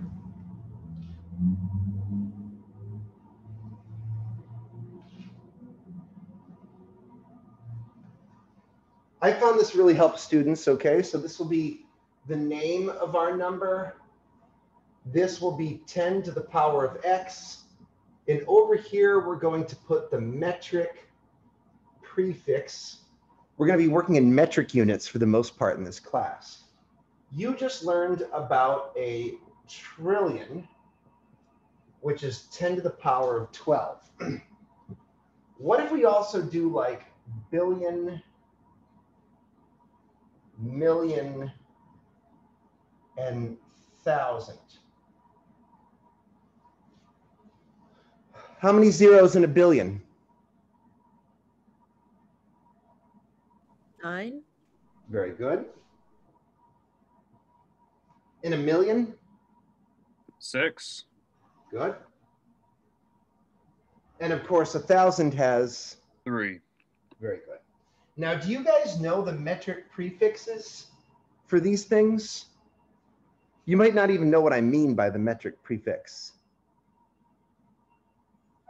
The metric prefix by 4,000 is kilo. For instance, a kilometer is a thousand of these here meters. My board that I'm writing on is approximately one meter in, in length, okay, or in width rather, and length. It's kind of square. A kilometer, a kilometer is a thousand meters. What about for million? What's the metric prefix there? What comes after kilobytes?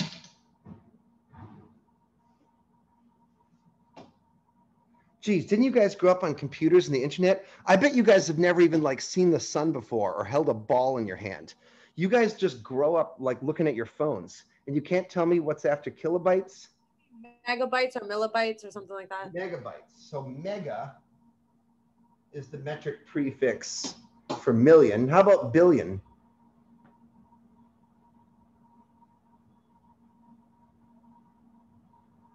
You did so good, Whitney. Thanks. Um, all right. So kilo, mega, Um, I don't know. Giga. Oh, close, close.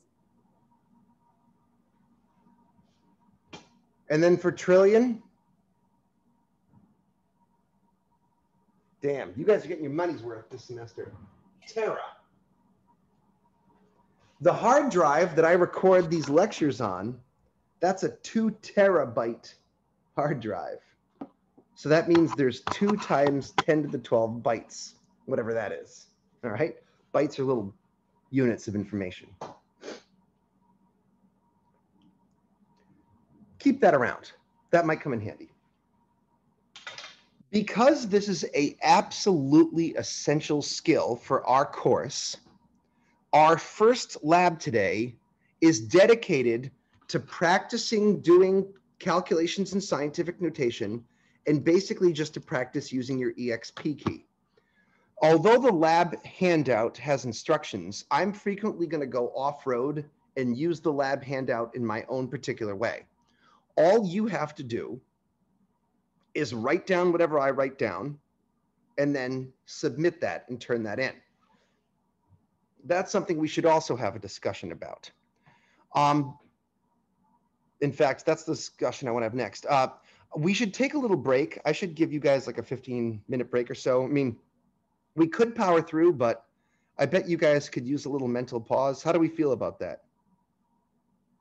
Feel good about that. It's really hard to listen to someone talk for multiple hours. So, um, in the future, when we have USB drives connected to our skulls, I can just sort of download the information that way directly to your brains. But until such time, I don't know how else to communicate information except for talking, and that takes some time. Let's take a little break, but I want to say this. Um, if you're planning on doing the lab today, I'm probably going to use a pre-recorded lab because none of you have your calculators, but you might want to print out the lab sheets.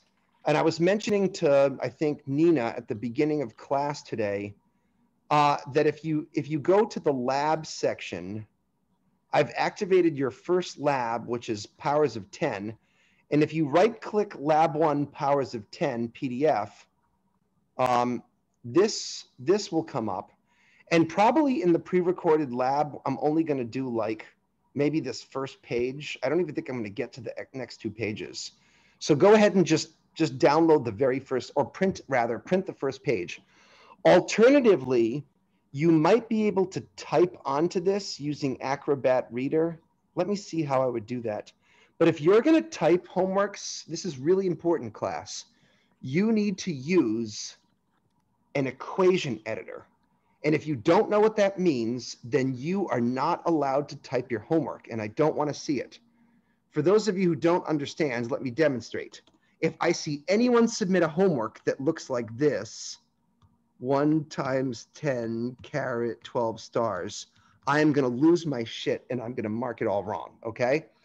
The kind of shit that I want to see is the way I write it on the board. You go to your equation editor, insert. Ooh, why is that blacked out? I think you have to. Oh, it's because it's compatibility mode. File. Okay, I see what's going on. Um, I downloaded this off the internet, so of course it's having a shit here. File, new, blank document. Okay, good. So now if I go to insert equation, if you type that thing, it's one, you actually have to use the little symbols up here. Do you see this? Get out of my way. Uh, where's the times key? One times, insert the times. And look, there's a script here. Watch this. You make a little power of 10. Isn't that cute? 10 to the, if you're not willing to do this, then you are not allowed to type the homework, okay? That's how I want the math to look. I want it to look all fancy with division bars and things. You see what I'm saying? So you might be able to actually type your lab work today. Um, one way to do that, I think, is in Acrobat Reader, you can type some stuff up, but I don't want to get too into the mechanics of it. You know what I think most of you should do? Simplest, easiest, dumbest way to do this is honestly just to print it. Okay. Print this first page to write on it with me and then take a picture of it with your phone and submit that to Blackboard. Is that something you guys think you can do? If not, if you do not have a working printer, I need you to write the whole thing out by hand with the problems so that I can like follow as I go along and grade it. Sometimes that won't be hard, other times it will be. Let's take a little 20 minute pause. I kind of went past the tea break point there, but I was finishing a thought. Um, when we come back from our tea break, I'm going to give you two more lessons on stuff that you need for your homework. I'll give you a couple of vocabulary terms and stuff. And then uh, we'll probably break for the day early, but you guys are responsible after today's lecture for lab one. I'm just not going to do it because none of you have a calculator and that kind of spoils the whole point. That makes sense to everyone? Okay. So it's one, what is it cell phone time? It's 148 on my computer. It's one, yeah, something's weird. It's 156 on my iPhone. Is that what you guys have? So why don't like we kind of have a lot to do today. So 2.15, let's just take a, normally I'll give you a little more time for tea break, but just take a short little break, get a drink of juice or something, look at the sun, and then we'll do a little more lecture and then we'll break. Okay? All right. I'll see you guys in just a few.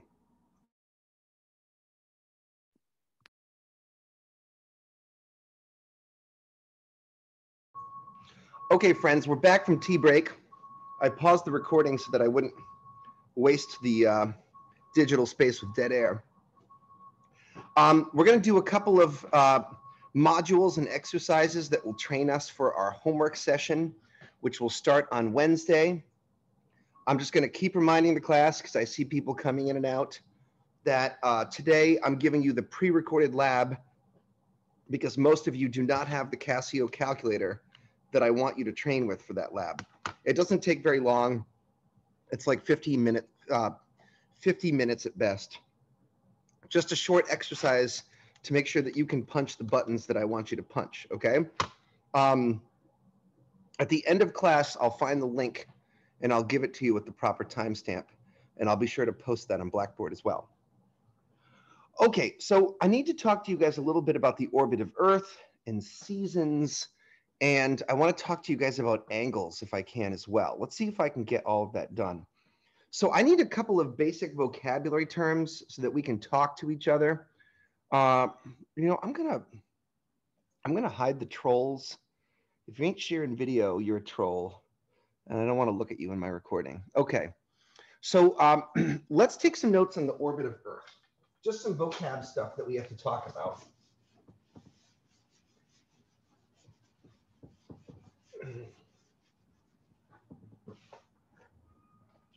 All right, so this section is called Earth's orbit.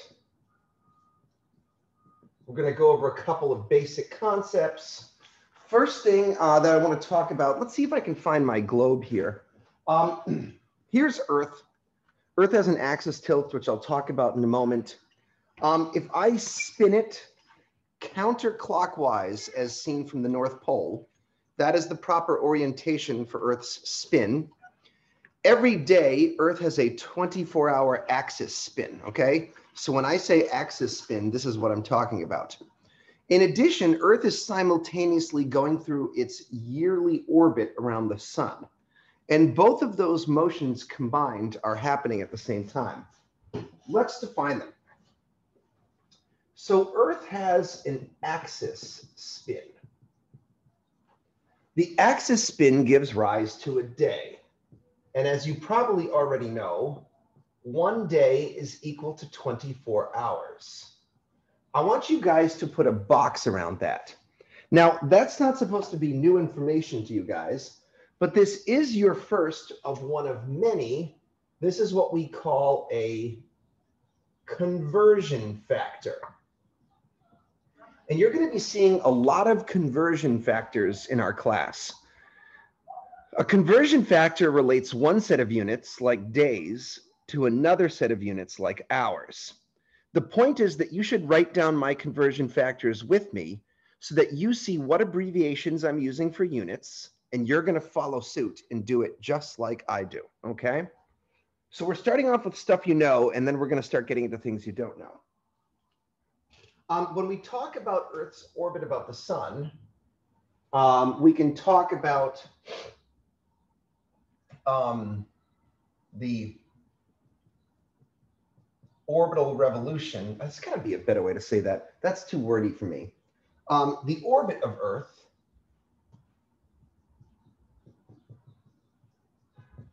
around the sun takes place over one year. One year is approximately 365 days. In your next lecture, I'm going to expand upon this conversion factor. I'm going to talk a little bit about synodic years. And sorry, I'm going to talk about tropical years versus sidereal years. But you're not ready for that just yet. Excuse me. Um, in addition, Earth also has an axis tilt. The axis tilt of Earth is 23.5 degrees with respect to something called the ecliptic plane. Okay. Let me show you guys a picture here. In my slideshow, I've got a couple of different pictures that, that sort of demonstrate what's going on. Let me jump ahead here. All right. Um, you know, an interesting idea, uh, something that, that happens, if you look at the if you look at the solar system from above, from the North Pole in space, you would notice if you could watch the in Earth spinning around Earth, that Earth's spinning counterclockwise on its axis, and it's also orbiting around the sun counterclockwise. And you're going to find that almost every body in our solar system does the same thing. All of the planets orbit counterclockwise in the same direction as the Earth. They also spin, for the most part, counterclockwise with one or two painful exceptions. Now, there's a reason that all of these objects are spinning in the same direction. There's a reason that they're all orbiting around the sun in the same direction. It has something to do with the way our solar system formed and something called the nebular hypo or the nebular theory. But I don't want to get into all that just yet. You have to earn that. So we're going to get there at some point. For now, it might be a good idea to think about the fact that we can actually define directions in space so uh, from now on, anytime something is in the direction of Earth's north pole, we're going to call that north in space. Anytime something is in the direction of the south pole, we'll call that south in space. And east and west are a little bit funky. Check out uh, beautiful America here. You guys know that the east coast is over here and the west coast is over there. So this direction here on the globe is east. But something funny happens. If I spin 12 hours over here, Rhode Island points over in this direction. How are we going to define east in space when east is constantly moving? One way to think about east is that east is in the direction that Rhode Island is turning as it spins along with the turn of Earth.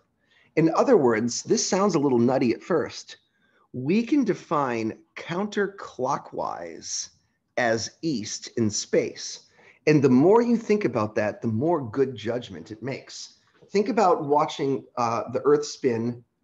Earth is spinning in the direction of east. It makes the sun rise in the east and set in the west. Okay.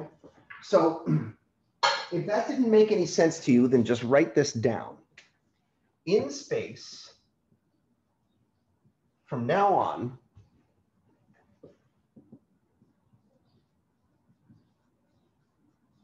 counterclockwise is equal to east. All right. And of course, the corollary to that is that clockwise is west.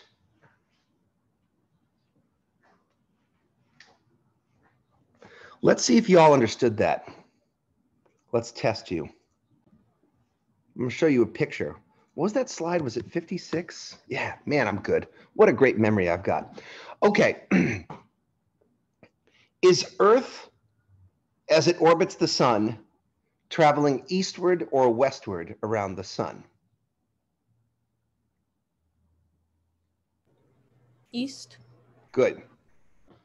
What if you're at the perspective of Earth and you're watching the sun travel throughout the background constellations? Like, let's say you're worshiping your astrology signs or something. During the course of the year, does the sun make an eastward or a westward journey along the constellations of the zodiac? Look at the picture. Use what you've been taught. See if you can do something. Is the sun making an eastward or a westward journey along the constellations of the zodiac?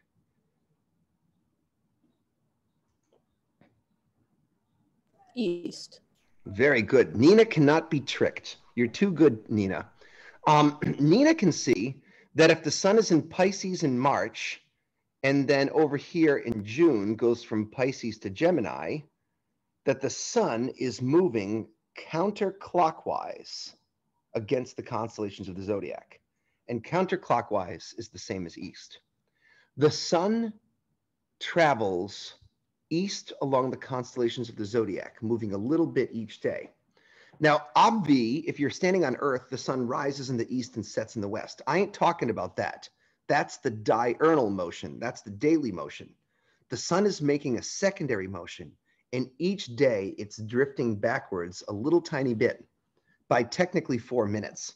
Astronomers have this funny joke. They say the sun rises four minutes each day. Uh, the sun rises four minutes early each day. Now, I'm not going to explain that funny joke to you. One, because it's not funny and two, because it's deep and profound, and you have to think about what that means. If you want to press me for what that means, you can ask me in the next lecture. The sun rises four minutes early each day. I dare you to meditate on that for a couple of days. Okay, um, let's talk about the path that Earth makes around the sun. There's like a special magical name for that, and it's called the ecliptic introducing a new $10 vocabulary word to really know that you're getting your money's worth, okay? Check out this picture here. The orbit of Earth around the sun, its eastward journey, travels a line that you can see here as a dark blue circle. It's wicked close to a perfect circle, but it is not a perfect circle. Let's pretend it's a circle for now. Um, this circle has a name, and the orbital path is called the ecliptic.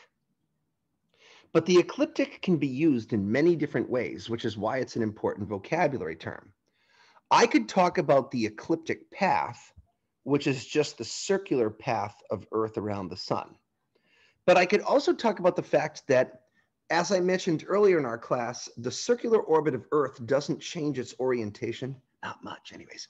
All right, anyways, so the ecliptic plane is like a two-dimensional plane that's made by connecting the ecliptic to the sun.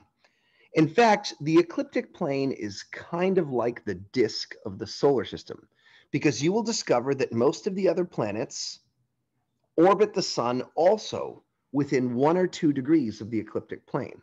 And once again, that's not random, that means something. The ecliptic can be used in a lot of different ways. It's a really important vocabulary term.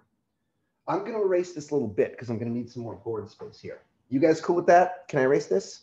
All right. Let's take some definitions down. Uh, there is the ecliptic. The ecliptic has two different definitions. The first is definition number one. Mm. Okay. This is the simpler one. It is the path of Earth around the sun. That's it. Keep it simple. However, there is another way to look at the ecliptic. What if instead of thinking about it from the solar system's perspective, what if you think about it from the Earth's perspective, like a person living on Earth, as you unfortunately do? If you're on Earth, you tend to orient it gesundheit so that the North Pole is up and the South Pole is down in your mind. And when that happens, the ecliptic can be thought of in a different way. Instead of the ecliptic being the path that Earth makes around the sun, related to this little funny joke I just told you, What if we thought of the ecliptic as being the path that the sun makes against the background stars? Now, like I said, you have to observe carefully to see that. But if you could watch the sun drift along the background stars, you would notice that night after night, the sun was making a little small four minute, one degree motion along the ecliptic. And that's a different way to look at the ecliptic that's radically different. Instead of it being the path of Earth around the sun, it's now the path of the sun against the background stars or something like that. Let's try that one out. The ecliptic, definition number two, is the path of the sun against the background stars. And I'm talking about its yearly motion. Doesn't that path of the sun against the background stars remind you of something that we talked about before tea break? What's that remind us of? Astrology. Yeah. In fact, there was a better term, a name for those constellations that the sun drifts through. What was that? Whitney knew what it was. I thought you did, anyways. Somebody did. What do we call those constellations? The fun time astrology constellations? What do we call them? The zodiac. The zodiac. And what I'm here to tell you today is the ecliptic is the zodiac, and the zodiac is the ecliptic. You know, Jesus didn't paint a little magical beam across the sky so I could see where the ecliptic is. If I'm a real astronomer and I want to know where is the plane of our solar system, I look for Gemini and uh, Pisces and Capricornus. They're useful. They're actually useful constellations. So the ecliptic is the zodiac. The path of the sun is the ecliptic, and the sun travels through the zodiac constellations. You can see that in my little slideshow there, right? Look, the sun's drifting through Pisces, through Aries. Remember earlier when I showed uh, Whitney that the sun was in Aquarius on her birthday? That was pretty funny. That's what I was doing. I was pushing the sun along the ecliptic, and each point on the ecliptic corresponds to a date. Okay. Um, let's not remember, uh, forget either that we can talk about the ecliptic plane. You're going to hear me use that term sometimes. The ecliptic plane is the disk of the solar system. So you guys are learning all kinds of new useful things.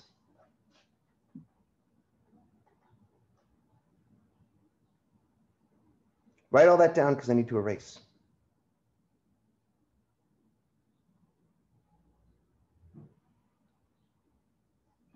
All right. I'm erasing. Speak now or forever hold your peace.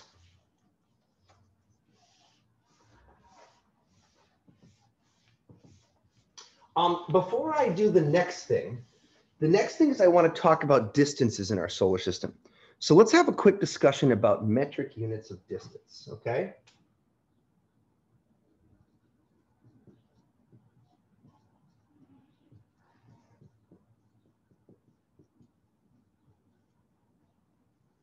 Typically, we measure distances in the United States in really lame units like feet and miles.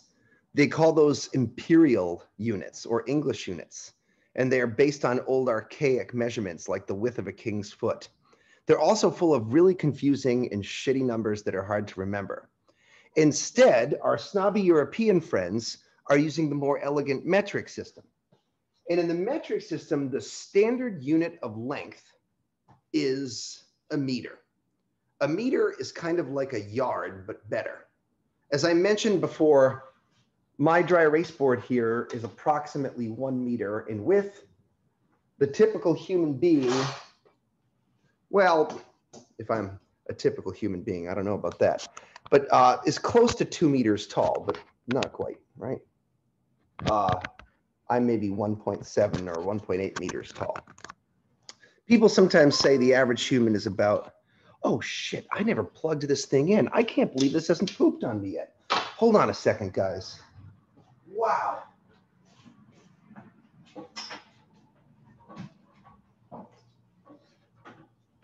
Oh, bloody hell.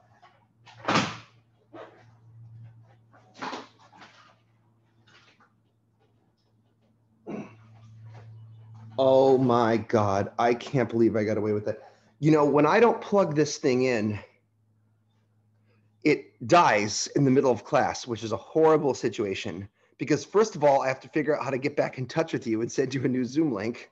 And second of all, it chops the recording in half, which is really, really bad for the processing later. So I just got the battery replaced in this thing and I'm, I'm really, I can't believe I made it two hours without it crapping out. That's amazing. Don't ever let me do that again, right? Okay, I knew I was forgetting something. Um, metric units of distance, I apologize. The meter is the gold standard. We're gonna be using meters in our, um, in our homeworks all the time. A meter is kind of like a yard, but better. That's how you should think about it. Abbreviation is 1M. Uh, some uh, meters are good for small scale things. Um, distance is comparable to the size of a human or the size of a room. When we want to measure distances on planets, so we're very frequently going to be concerned, as you will quickly discover, with the radii, the radius of planets and moons. The radius of a planet or a moon tells you a lot about it, actually. Um, and, and for that situation, we're going to want to use the kilometer.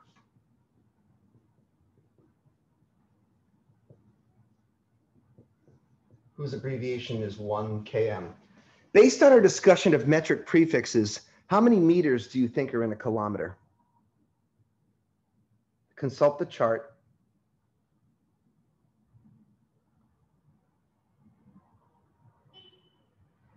A thousand? Yeah. Let's write that down. One kilometer is equal to 1,000 meters. Okay. That is a key conversion factor. In fact, put little stars next to it. You're going to use that conversion factor all the time. Uh, here are some things to think about. This is a little bit of an indulgence, but I feel like doing it. Let's think about the state of Rhode Island. I should memorize these numbers anyways. I think Rhode Island is like 80 kilometers by 60 kilometers if you think of it as a rectangle. let's see, let's see if I remember that correctly. I like how if we go to Wikipedia, they have like data here on the side. Okay, sorry. Uh, yeah. so uh, the length of Rhode Island is 77 kilometers. The width of Rhode Island is 60 kilometers. Let's write that down.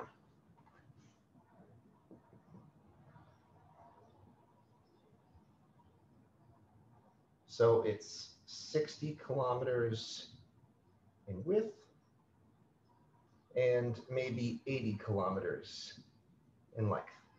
Okay?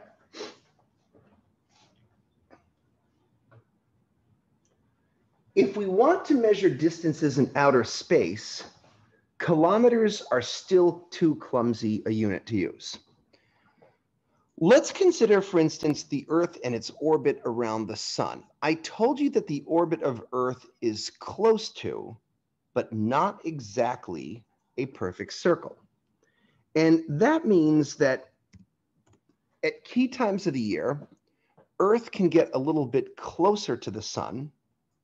We call that perihelion.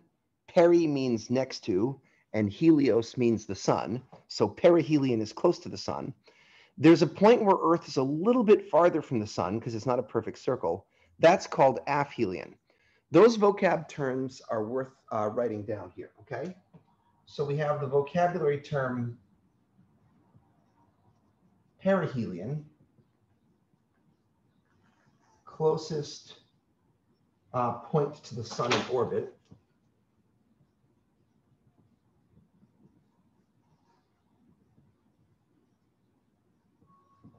We also have the term aphelion, farthest point from the sun in orbit. Uh, hopefully you guys can read that. My handwriting gets a bit messy when I when I write fast. Farthest point from the sun in orbit. Uh, thoughts? What time of year, if you had to guess, what month would you suppose perihelion occurs at? If you had to guess. July. What if I told you, Nina, that perihelion occurs in January? Oh, I would be wrong. Yeah, but that would seem kind of weird, wouldn't it, Nina? Yes. That perihelion's in January. Because you were probably thinking that it would be summertime when it was closest to the sun, right? It turns out that's not how it works, Nina. And we got to learn about seasons in just a moment, okay? So stay tuned to have yourself corrected. Okay. Um, I think aphelion occurs in July or maybe even in August. Actually, I think it's July. All right, put that aside for a second. Um, sometimes it's nice to talk about the average distance between the Earth and the Sun. And that's going to be a key vocabulary term for us. It's a new unit. It's called an astronomical unit or 1AU. It is defined as the average distance between Earth and the Sun, and it has a value of 150 million kilometers. We don't need miles, okay? That's people sometimes say 93 million miles. Let's write that down. I'm going to erase here.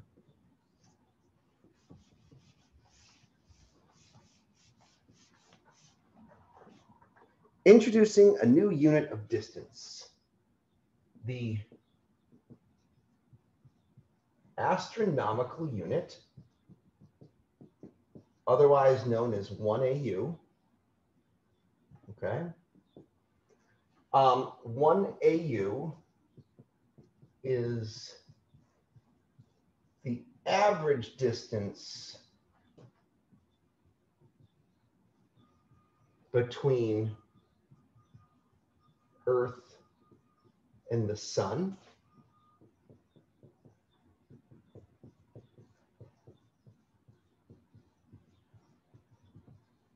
One AU is 150 million kilometers. Okay, it's almost time for a kid's break here.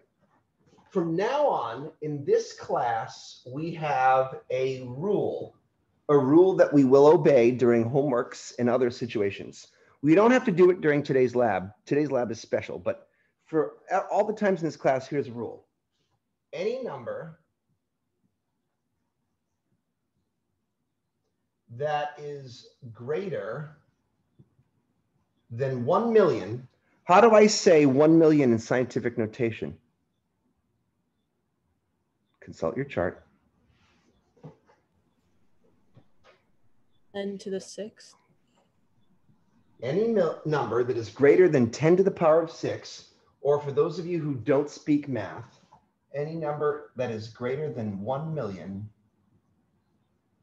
must be in scientific notation. I would like you guys to obey that rule going forward, okay? To help us with this, uh, Nina is going to help us translate this into scientific notation. Do you think you're up to that challenge, Nina? Sure. Yeah. Okay. Hesitantly.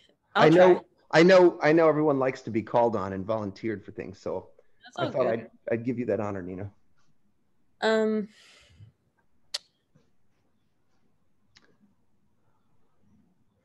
So if you want to start off slow, we could think about what's our lead digit.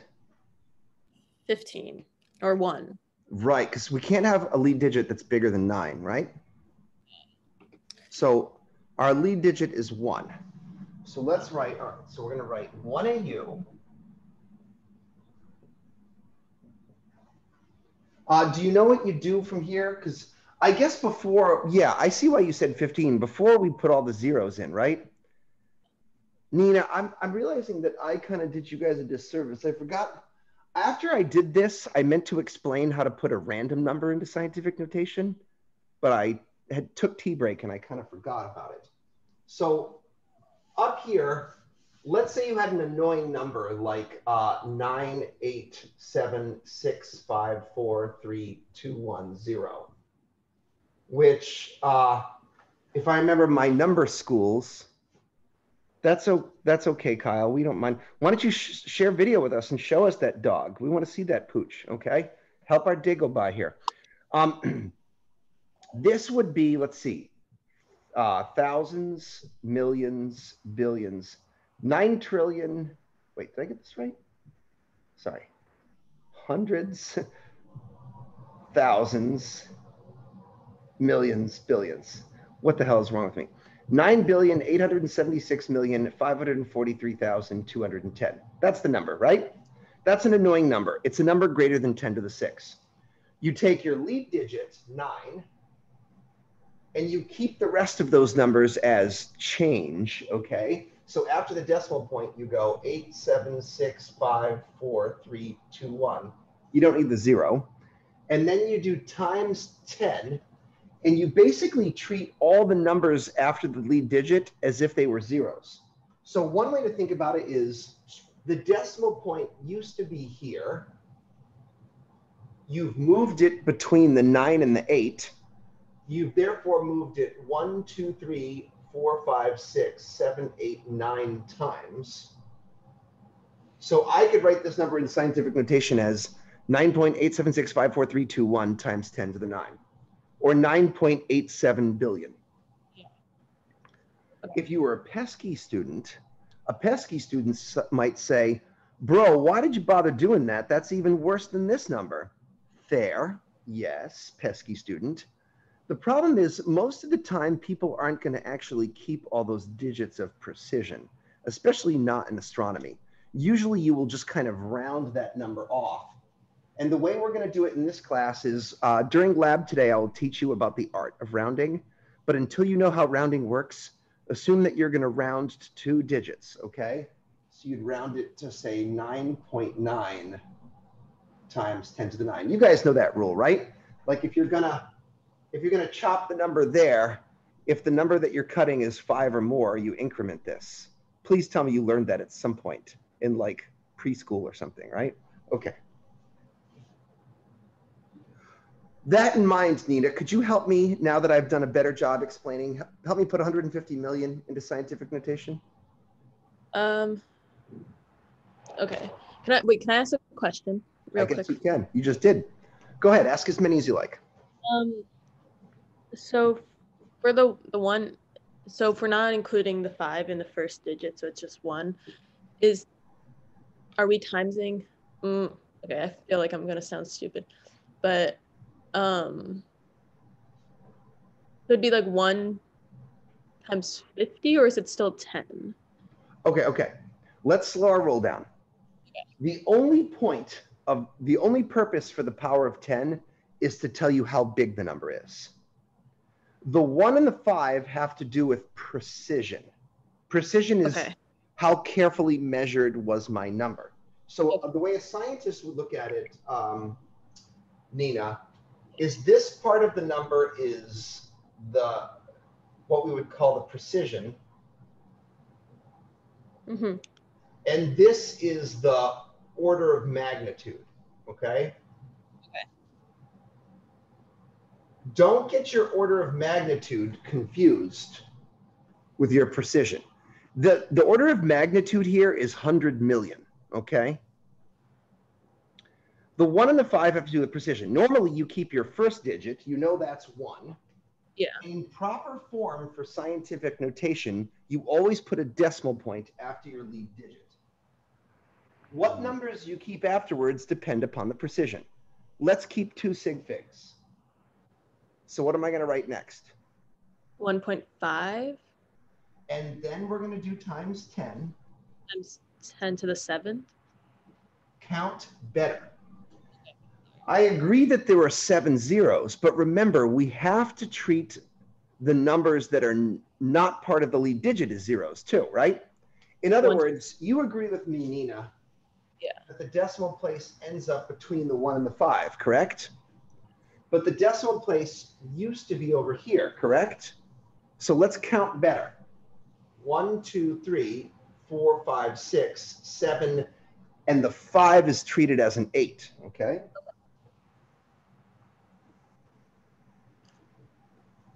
This Okay. version, Nina.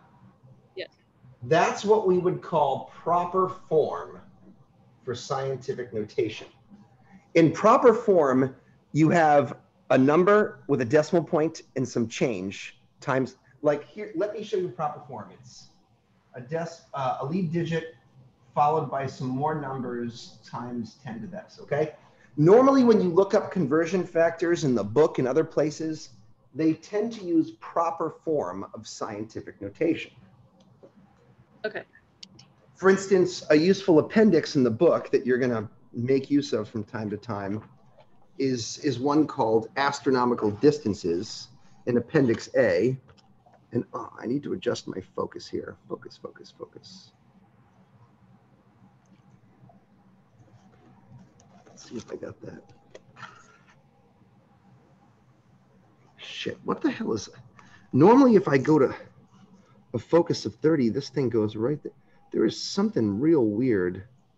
I think they must have changed the pre. Ooh, wow, it's just so persnickety. Okay, look, do you see how they've used proper form here? Notice that they have 1 AU is actually 1.496 times 10 to the 8 kilometers. It's a lead digit followed by some change times 10, right? You see that? Sometimes, Nina, it's useful to use improper form. For instance, let's say we did what you were about to do earlier. Earlier, you were going to say 15 times 10 to the 7. That would actually be okay, okay? That's, that's okay. If I wanted to, I could write 1 AU equals 15 times 10 to the 7 kilometers. That's weird, but it's okay. It's valid. Because you have a 15 with seven zeros after it. Now, personally, I'm so weird that I write it really strange. I actually go one step back and I leave my decimal point back here. Watch how messed up I am. When I write 1 AU, I like to write 1 AU is equal to 150 times 10 to the 6 kilometers. And this, my friends, that's what you call good math style, okay? Why would I do such a thing? Why would I like to jimmy my decimal point around so that my power was 10 to the 6? Ah, because remember, do you remember that chart that I made you earlier? 10 to the 6 is equal to what? Million. No, billion. No, million. million. So, Nina, when I look at math, I speak math so fluently that I'm translating it into my mind. 1 AU is equal to 150 million kilometers. So, you'll often see me wiggle around the decimal place so I can jiggle my zeros into millions, billions, and trillions because then it hmm. flows off your mind. I don't know if that makes any sense or not. But you now I think saying 150 million kilometers is more elegant than saying 1.5 hundred thousand kilometers, right? That's a little more lame. Anyways, you can actually plug all of these into your calculators using your, wait for it, the EXP key. Let me see if I can find the magical focus that will work for this here. Oh, there we go. So I could put in 1.5 EXP8. Whoop. Notice if I hit equals, it just comes right out. No times 10, just EXP. I could do 15 EXP7. Hit equals, boop, same thing. Or my personal favorite, I like to do 150 EXP6. You can actually just leave it like that, but if I hit it goes to print it out. Oh my gosh, apologies. I was not, I was, my schedule has not yet conformed to this summer too. I wonder if you guys are going through the same thing. Hopefully we'll get more in sync as we go. Um, this is how you're gonna see me writing 1AU. What is the purpose of 1AU? The purpose of 1AU is to serve as a new meter stick that we can use to measure distances in our solar system. So let me show you some pics to help you understand. Um, Um, question, yeah, talk to me. Um, on any homeworks or lab, do you want us to write in proper form or improper or math? Hey, what's that pooch's name, Nina? Uh, her name is Comrade. Comrade. Comrade, you will be our comrade through the solar system. We're gonna. Rec- He's just sitting there checking out the show. I love it. I love it. Two for one deal. Okay, uh, Comrade is pretty cool. We'll have to see more of Comrade. Um, so, uh, that's a great question, Nina. We will we will usually use improper form, and we'll use crazy maths for most of this. The one exception is today's lab, which unfortunately I'm not going to do with you because no one has the calculator. Today's lab is not long. I don't stretch it out. It's just, I want today's lab to be you guys practicing five or six times putting numbers into proper form. So when you watch the video, you'll watch past me explain exactly what to do. I'll, I'll tell you what to do and exactly what to write down. There'll be no confusion at all. But I just want to tell you that for today's lab, you're going to end up using proper form. But after that, anything goes. Okay. So I figured we should do it once in proper form just to make sure you, believe it or not, there are still some, do you see how Nina kind of knew scientific notation, but she had to stumble around a little bit? All of us need to practice that, okay, in order to get smooth. And, and that means you're learning. That's a good thing. Um, let's talk about what an AU really is. Okay, it's 150 million kilometers. But what we do is we use an astronomical unit as a measuring device to measure distances from the sun to the other planets. Now, I want to make a note to self here. Every time I see a number that is between zero and one, like see how Venus is 0.7 AU, I read that in my mind as 70% of an AU. So I always think of numbers between zero and one as a percentage. And I hope with time you will too. So from the sun to Mercury is 40% of an AU. From the sun to Venus is 70% of an AU. Obviously, Earth is 1 AU by definition. If you measure the distance to Mars, Mars is 1.5 AU from the sun, okay? Now, things get really interesting in the outer solar system. There are these vast distances. To get to Jupiter, it's 5 AU. To get to Saturn, 10 AU. So that's twice the distance. To go from the sun to Uranus, 20 AU. Um, Neptune is 30 AU from the sun. Now, Pluto's orbit, as I mentioned earlier in class, is highly squashed. It comes interior to the orbit of Neptune. But if you measure the longest and the shortest extent and take the average, the average distance between Pluto and the sun is about 40 AU. That also means, think about it, if the radius of the solar system is maybe 40 or 50 AU, the entire solar system, edge to edge, is like 100 astronomical units or so. Mm, as you can see from this previous diagram, that's still a little bit of a lie. Love lying to my students. They don't know any difference. Why not? I still get paid the same. Anyways, look, check it out. If you check out the distances, the sun to like the very edge of what we call the heliopause, that's the edge of the sun's magnetic boundary, that's maybe 100 AU. Um, there's a reservoir of comets called the Oort cloud. They can orbit like anywhere from a thousand to a hundred thousand AU.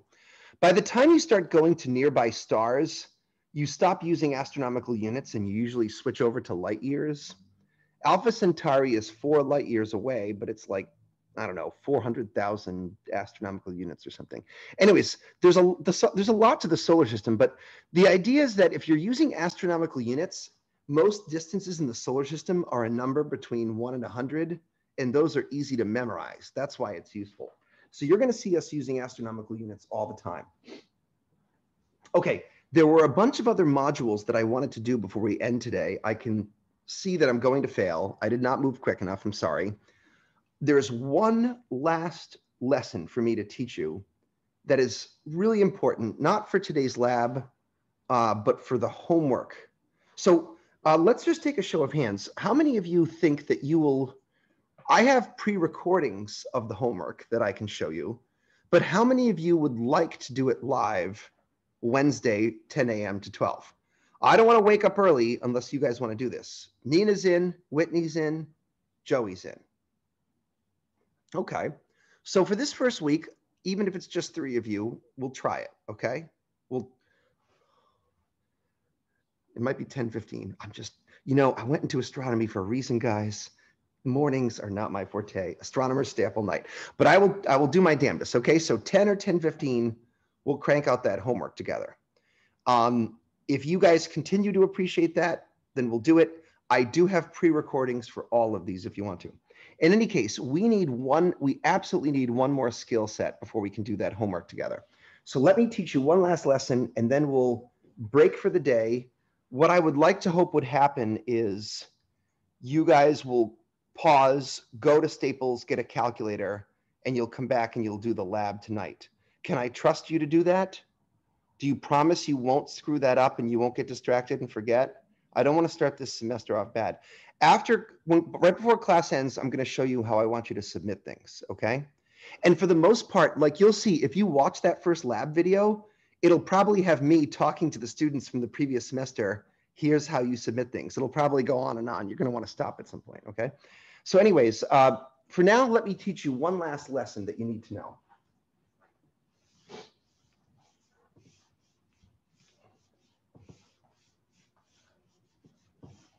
Okay. The next lesson, and this is probably the most important thing I'm ever going to teach you all semester. It's a technique for solving math problems that is going to make you powerful. Up to now, you've been wimpy, and math problems have bamboozled you and confused you. But it's because you didn't know this little tiny secret that's such a big deal. Lesson number two. Something called dimensional analysis. Dimensional analysis is how we solve math problems in this class. In particular, it's how we solve something called conversion problems. Conversion problems are when you have to convert one set of units, like astronomical units, into another set of units like kilometers. Let's make a concrete example here. This is the kind of thing that you're going to see in your homeworks and most definitely on your test. So you must be trained on this. If Pluto is 40 AU from the sun, how many kilometers is that? All right. this is not a hard problem, believe it or not. This is actually about as easy as it gets, but I'm guessing that some of you might still be scared, okay? First of all, just so I can see what the abilities of my students are, because remember, guys, I don't know you any more than you know me. I don't know what you know, and I don't know what you don't know. And I got to try to figure that out so I can dial this class the right way. Does anyone know how to solve that problem without my bullshit? Like if you just had to solve it right now and that was a test, could anyone actually do it? And if so, what would you do? Would you do uh, 15 times 40? Uh, not 15. You're on the right track, Whitney, but why 15? Oh, uh, oh, wait. I forgot. Hold on. I don't know. I think you had a good idea there, but you dropped a few Okay. millions of zeros. Oh, wait, I don't even know why. Oh, if one AU equals 150? 150, you kind of forget Oh, something. um, 150 trillion uh, million kilometers. Right, 150 million kilometers. So in that case, what would you do then, Whitney? I like your moxie. Well, we're it's 40 AU, so we have to make that 40 times. Look at that. Whitney's having a good day. You know, some days you have a good day like Whitney, and you just kind of see what to do and you do it and you win. And I hope many of those days follow you, Whitney. The reality is, you're not going to have too many of those days in this class. Shit's just going to get weirder and weirder and harder to think your way through like that. Even though Whitney's method works, there's a better method that works every time. And here's the best part you can just switch your brain off. You don't have to do anything. You just follow the little rules and put it into the machine, and it all comes out perfect every time. I use it, you're going to use it. Let's try it a different way, Whitney. Let's try it using the four steps of dimensional analysis. Now, I want you guys to write this down with me, okay? And then I'll show you how it works. Put a big box, all right,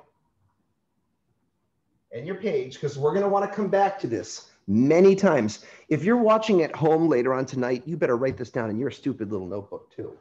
It's called the four steps of dimensional analysis. And I'm putting it all in caps. I'm even going to put some stars next to it. And I think I'm even going to put some fire beams coming off of it because it's just that important. Okay. Later on, when you screw up, I'm going to ask you to read these four steps. Okay. Okay, let's write down the steps. Step one is to write down the number to convert with its units.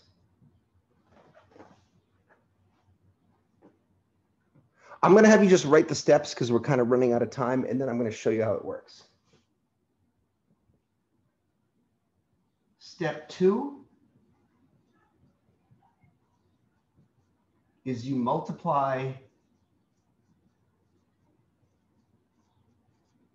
by a division bar. Okay, that's the easiest step. Step three is the key step. We are going to put the units in first.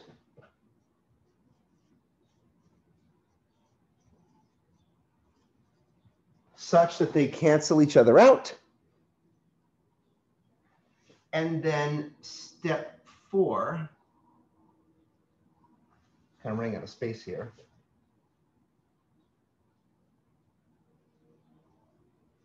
We put the numbers in second. You guys even read this? Put the numbers in second using, uh, sorry, my handwriting is not good at the bottom here. Using conversion factors. Can't do this, hold on.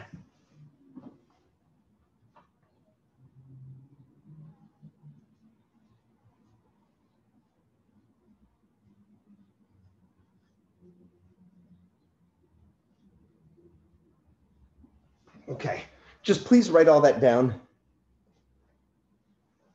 I'm not proceeding until you write all of it down.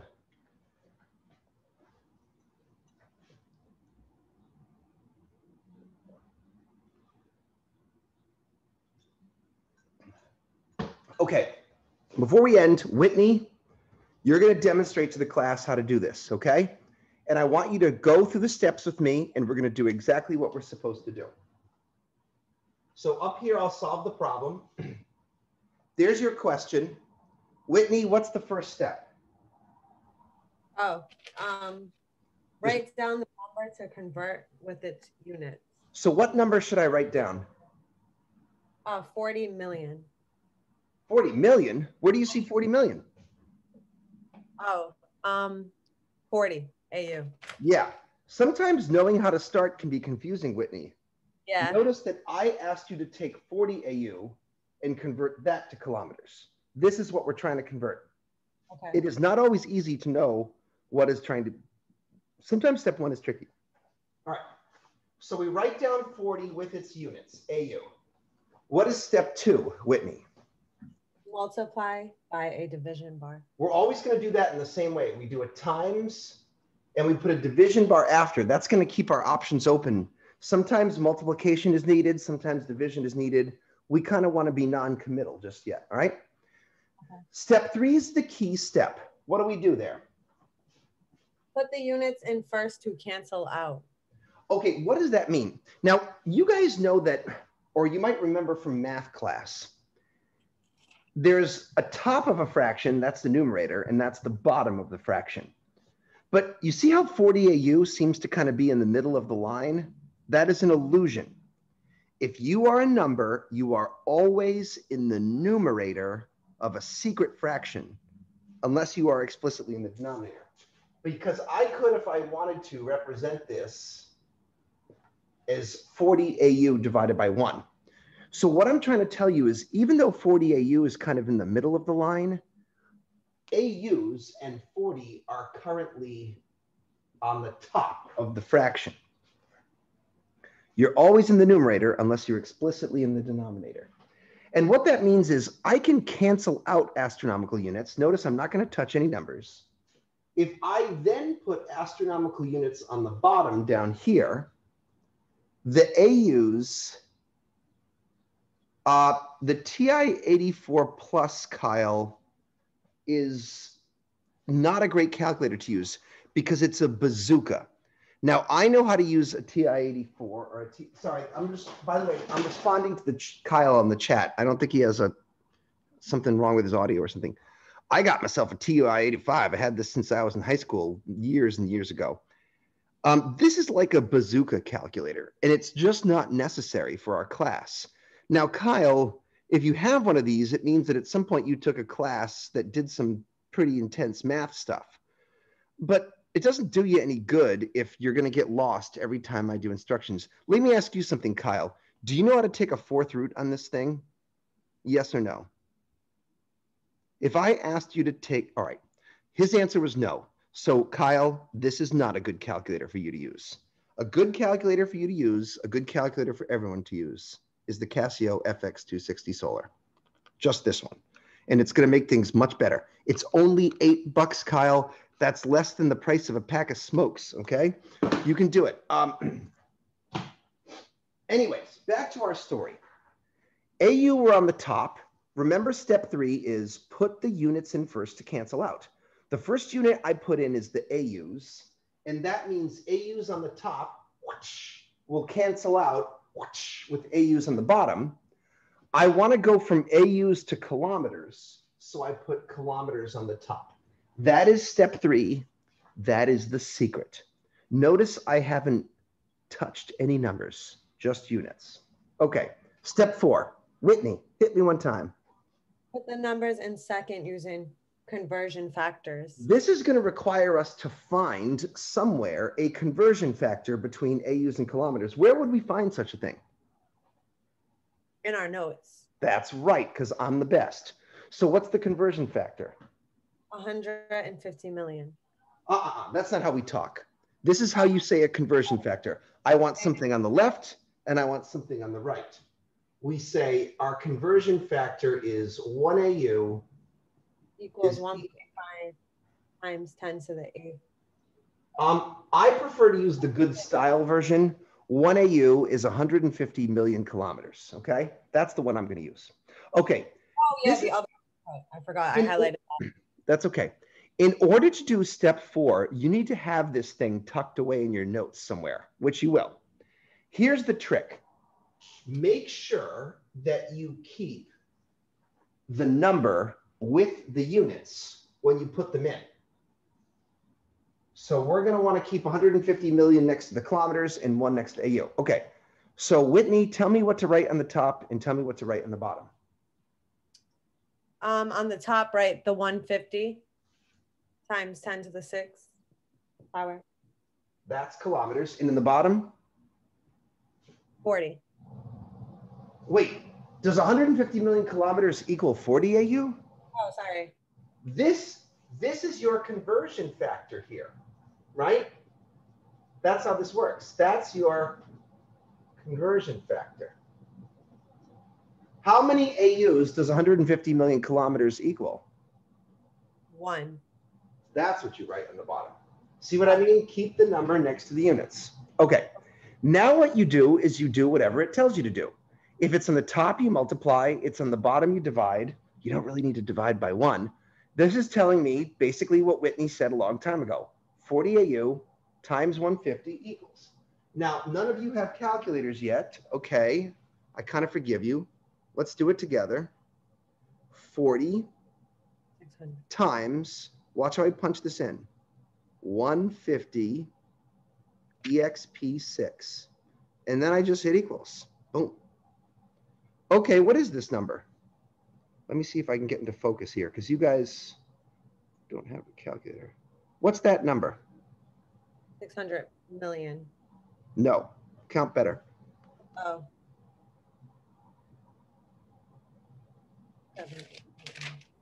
Oh, um, six trillion. Nope. Oh, Say it better. I don't know. Trillion is 12 zeros. You you do not have 12 zeros. Put your, pen- 60 million?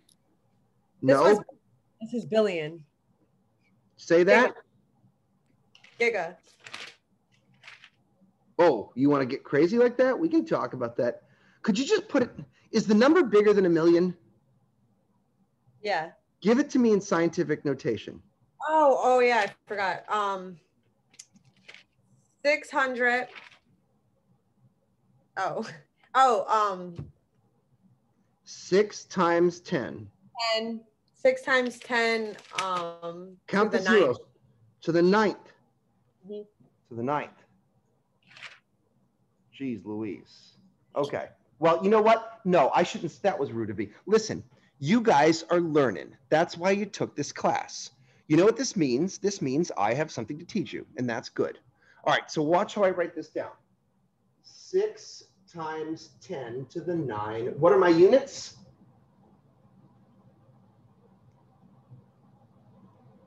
Kilometer. Yeah, because kilometers are all that's left. Oh yeah. Now, let's say you wanted to say it the other ways, right?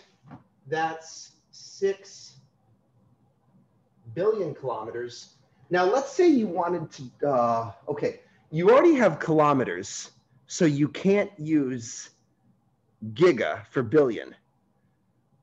Billion thousand is actually six terameters. So if you wanted to do that in metrics with the prefixes, I believe it would actually be TM. I think that's that's how you do terameters. It's terameters. Did I get that right? Yeah.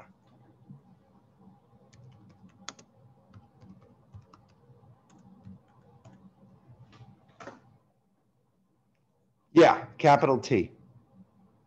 So there's terahertz. Okay, wow. I'm a cool guy. All right. Listen. Oh, by the way, when you're done, you box your answer because that's a classy move. And that's how I want to see our homeworks being done. All right. Listen, I'm going to give it to you straight. Two or three of the homework problems, we didn't quite cover the thing on angles that I needed to get to. And that's because I was slow. I'm sorry. I'll make it up to you next time. We'll squeeze it in there. Um, this is going to be the end of our class today. I went a few minutes over, and I'm really sorry for this. The first couple of classes are a bit awkward because I just need to jam so much in just to kind of get us going. Like today, I had to talk about the rules of the class, and I kind of doinked around with you on the astrology thing. That was an indulgence, but I hate astrology. And if that's the only thing you remember from this class, that would be pretty cool. If you end up dropping tomorrow, I still want you to know astrology sucks. Okay. So that was me just, you know, fighting for the good. Now, listen, um, here's how this is going to work. I'm about to end class and disappear. You are still on the hook for today's lab. Let's go and find it together. I'll give you the link and I'm going to also post it in the Blackboard. Okay, so I'll be posting this video later to Blackboard, and then I'll have another video. It'll be a YouTube link. There'll be another video below it saying, and this is your lab. But what I think I'm going to do is I'm going to go to one of the older, the classes I did last semester and take that lab. Let me, this is actually kind of helpful too. So let's go to Blackboard for a second and let's see how I'm going to do this. Actually, when I set up this class on Sunday, in the announcement section, this is where I will post both the Zoom links and I will also post the lectures. You can see that if you go back, I actually dragged lecture zero and lecture one, lab one from last semester up to the top. After, oh, I also dragged lecture one, homework one. After that, uh, they're all kind of upside down because I didn't take the time to drag them all into the correct order. Not only do I have spring 2021's class here, but I also have the class before that from last fall, if you go back even further. So I have two semesters of lectures here. So you don't need to do anything with this. Most of the time, I will post it here each day. What I'm going to do is when I'm done with this, I'm going to delete live Zoom link and I'm going to have lecture one, lab one. Okay, keep in mind that last semester, um, we didn't have to do a three hour lecture. We just, we did two lectures a week, an hour and a half each. So here's lecture zero. You've already had that. You don't need to watch this. Here's lecture one, lab one. And let's hope the lab came out good that semester. I can't always remember. I'm going to put this in the chat log in a second. So here's me talking and doing my shtick, which is probably very similar to the one that you guys got today with a whole bunch of kids last semester. And it looks like I started the lab. I sure hope I got to the end of the bloody thing. The lab should only be about an hour long. Uh, yeah. And, and I'm basically just going to talk a little bit more about scientific notation. What you're going to do is you're going to do the problems that I do with me, and you're going to submit them. And at the end of this lab, I'll even show you how to submit them. This is this is a wicked long video because it has the lecture in it too. Okay, I'm going to teach you all about sig figs. It looks like it starts there. That's timestamp 133.38. Let's just let that load. Make sure I got that right. Go over here to my phone. Uh, I hope there's not a ton of doinking around here. Come on.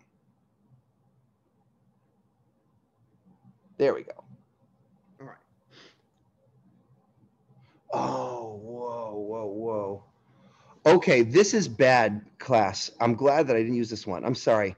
This is this day I remember what happened now. I forgot to hit I hit pause between lecture and lab and I forgot to unpause it. So I don't want you to use this one. This one's bad. Uh Wow, that sucks. Oh, oh wait a minute.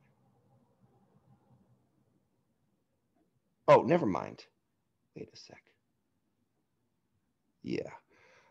I'm sorry. Let's do it from the previous semester, or I'll give you one from my, my 1020 class does a similar lab. Either way, we'll figure this out.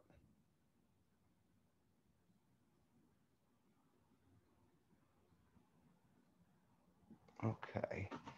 This is lecture one, lab one. Let me click on that one instead. This one should be a little better.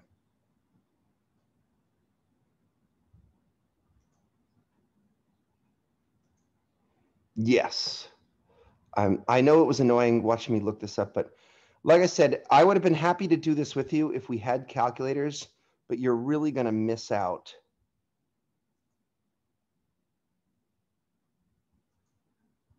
Okay. That looks like the right timestamp. Now, uh, before we go here, you guys might also have questions about how to submit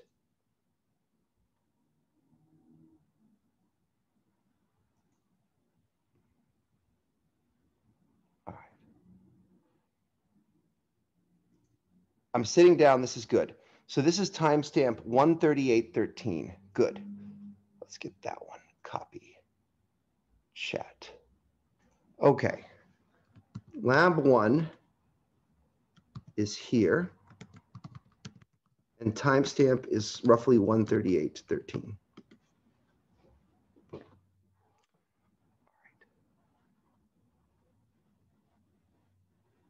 When you, okay, does that make sense to everyone, what I just did there? All right. I will probably explain at the end of that lab how to submit the work, but just in case I didn't, or I don't know what's going to happen, what you should do is take a picture of the worksheet with your phone. You could try to do it digitally too by like writing onto the PDF, but take a picture with your phone.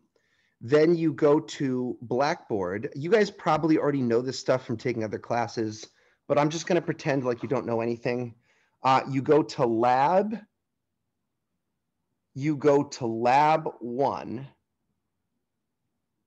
And then when you see it, you're just going to browse local files and upload your picture. I will only accept things that I can see. A .jpeg, a .pdf, a dot .text if you really have to, or a dot .document. But I don't want to see any zip links or anything. Could you please just look at it and make sure that it looks normal in the preview box? How many of you have done this before? I just don't know what I'm dealing with here. Okay. Nicole, you've not done this, nor have you, Whitney? Oh, okay, Whitney hasn't. Here's the thing. I discovered something last semester. When people uploaded it from their phone, it tended to get all effed up. Could you do me a favor and take the extra second, send the picture from your phone to your email, take it to your computer, and then upload it from your computer browser? Is that something you guys could do for me? You'll know you did it right when you can see your homework in the preview box. And for the love of God, could you please make it upright? Literally, some people last semester would like submit shit to me sideways. Like, don't do me that like that, you know, like be cool to your poor professor who has to read all this stuff. Okay. Um, I'm going to also explain at the end of that lab. So I don't want to waste any more of your damn time. I got to stop this video. Do you guys have any questions for me? Or did I kind of cover it all proper here? Um, I just had a quick question. Uh, so the things that are due this week are the lab and the homework. Wait, let's be careful. Today, lab one is being assigned, and you're responsible for that now. Okay. On Wednesday, when we meet again, we're going to do homework one, 10 to 12. Mhm. Then we're going to have lecture, 12 to 3. Then we're going to do lab two. Okay. Because remember, the way to think about this, Nina, is each class we do a homework and we do a lab. But we didn't do a homework this class because you haven't learned anything yet. So, you know what I mean? So, this is going to be a weird week where you're going to have two labs due, but only one homework. In Okay. general, each week you have two labs and two homeworks. Now, Oh. ideally, I'd like you guys to submit it tonight. But here's the truth I'm not going to grade it tonight because I'm cooked. Okay. And I probably should give people watching the video a couple extra days of wiggle room. So I decided that I grade on Sunday nights, the whole week's worth of work for both of my classes. But I know some of you like to use Sunday night to get your homework done because that's like a little break in your schedules. So I'm going to give you until 11 p.m. on Sunday night. And then sometime after 11, I'll grade the papers and I'll deactivate the submission. Do you Okay. guys think that's a good enough time for you? I mean, I got to call it at some point, right? So is till Sunday enough time? Remember, all you've got to do is watch the video and I'm going to do everything with you. You don't even have to think. You just have to copy. Literally, just copy me. I actually think you can learn a lot by copying, okay? Um, so it's not stressful. You just have to make you just have to carve out that time. You guys think you could handle that? All right. If So it's it's not working, Sorry. Uh, I- no, talk two labs for this week. Two labs, one homework. We should get it ideally done before Sunday, but it's due Sunday, right? Yeah, that's like the point of no return. That's if basically what does it matter when you submit it? I'm not going to grade it until Sunday, so you have until then. But I think for you guys, what I think so I've been doing this class longer than you've been taking it. And what I discovered works for you guys on your end is if you put it into manageable bits. like let's say we have this lecture today. You should probably do the lab, and if there was a homework, do it before Wednesday, just because it's good for you. And then Wednesday, Thursday, maybe you do the next one. And then if something got screwy in your life, you have a couple of backup days, you know? The, the only thing that works, look, I'm telling you, I'm not really good at a lot of things in my life. And I don't even know if I was that good at college, but I started to learn the secret to doing college is just to have like a brutal routine. The only reason that my professor thing doesn't fall apart is because I just have these rigid routines. I'm always blocking out Monday for your class. I'm always blocking out Wednesday for your class. And I'm always blocking out Sunday night for my grading. And as long as I kind of stick to that, it kind of works. So try to find some routine until this madness is over. Okay. Those are just tips for life. Okay. Thanks for putting up with me. I know it's a long day. I, I really respect and appreciate what you guys do sitting here. Okay. So you guys are going to try to get that lab done. See if you could do it today or tomorrow. Okay. You know why? Because tomorrow, uh, Wednesday's class, I'm going to start using that technique. So this is, it's kind of really critical that you train on it. Please go get those calculators. If you ever have troubles, don't feel uh, worried about it. Text me, call me, email me. I don't care. I answer phone calls and emails from people all day long. Sometimes texting calling is even better because I'll be on my bike or something and I can occasionally forget to respond to emails. So make use of, of me while, while I'm available. All right. All right, guys. Um, you have the link. I'll be posting. Uh, I'll be posting all of that uh, to Blackboard ASAP. Okay, guys. Take care. I guess I'll send out a link around 10 a.m. around 10 a.m. ish. Okay, on Wednesday. Does that sound like a plan? If you can't make the homework session, come to the lecture and watch it later. But let's try to. I if I go through the trouble of redoing this, there's a video for that. I will redo it with you so that we can have that experience. But at least if Nina and Joey and Whitney show up, that would be cool. Okay. All right, guys. Until Wednesday, take care, space fans, wherever you are. Bye.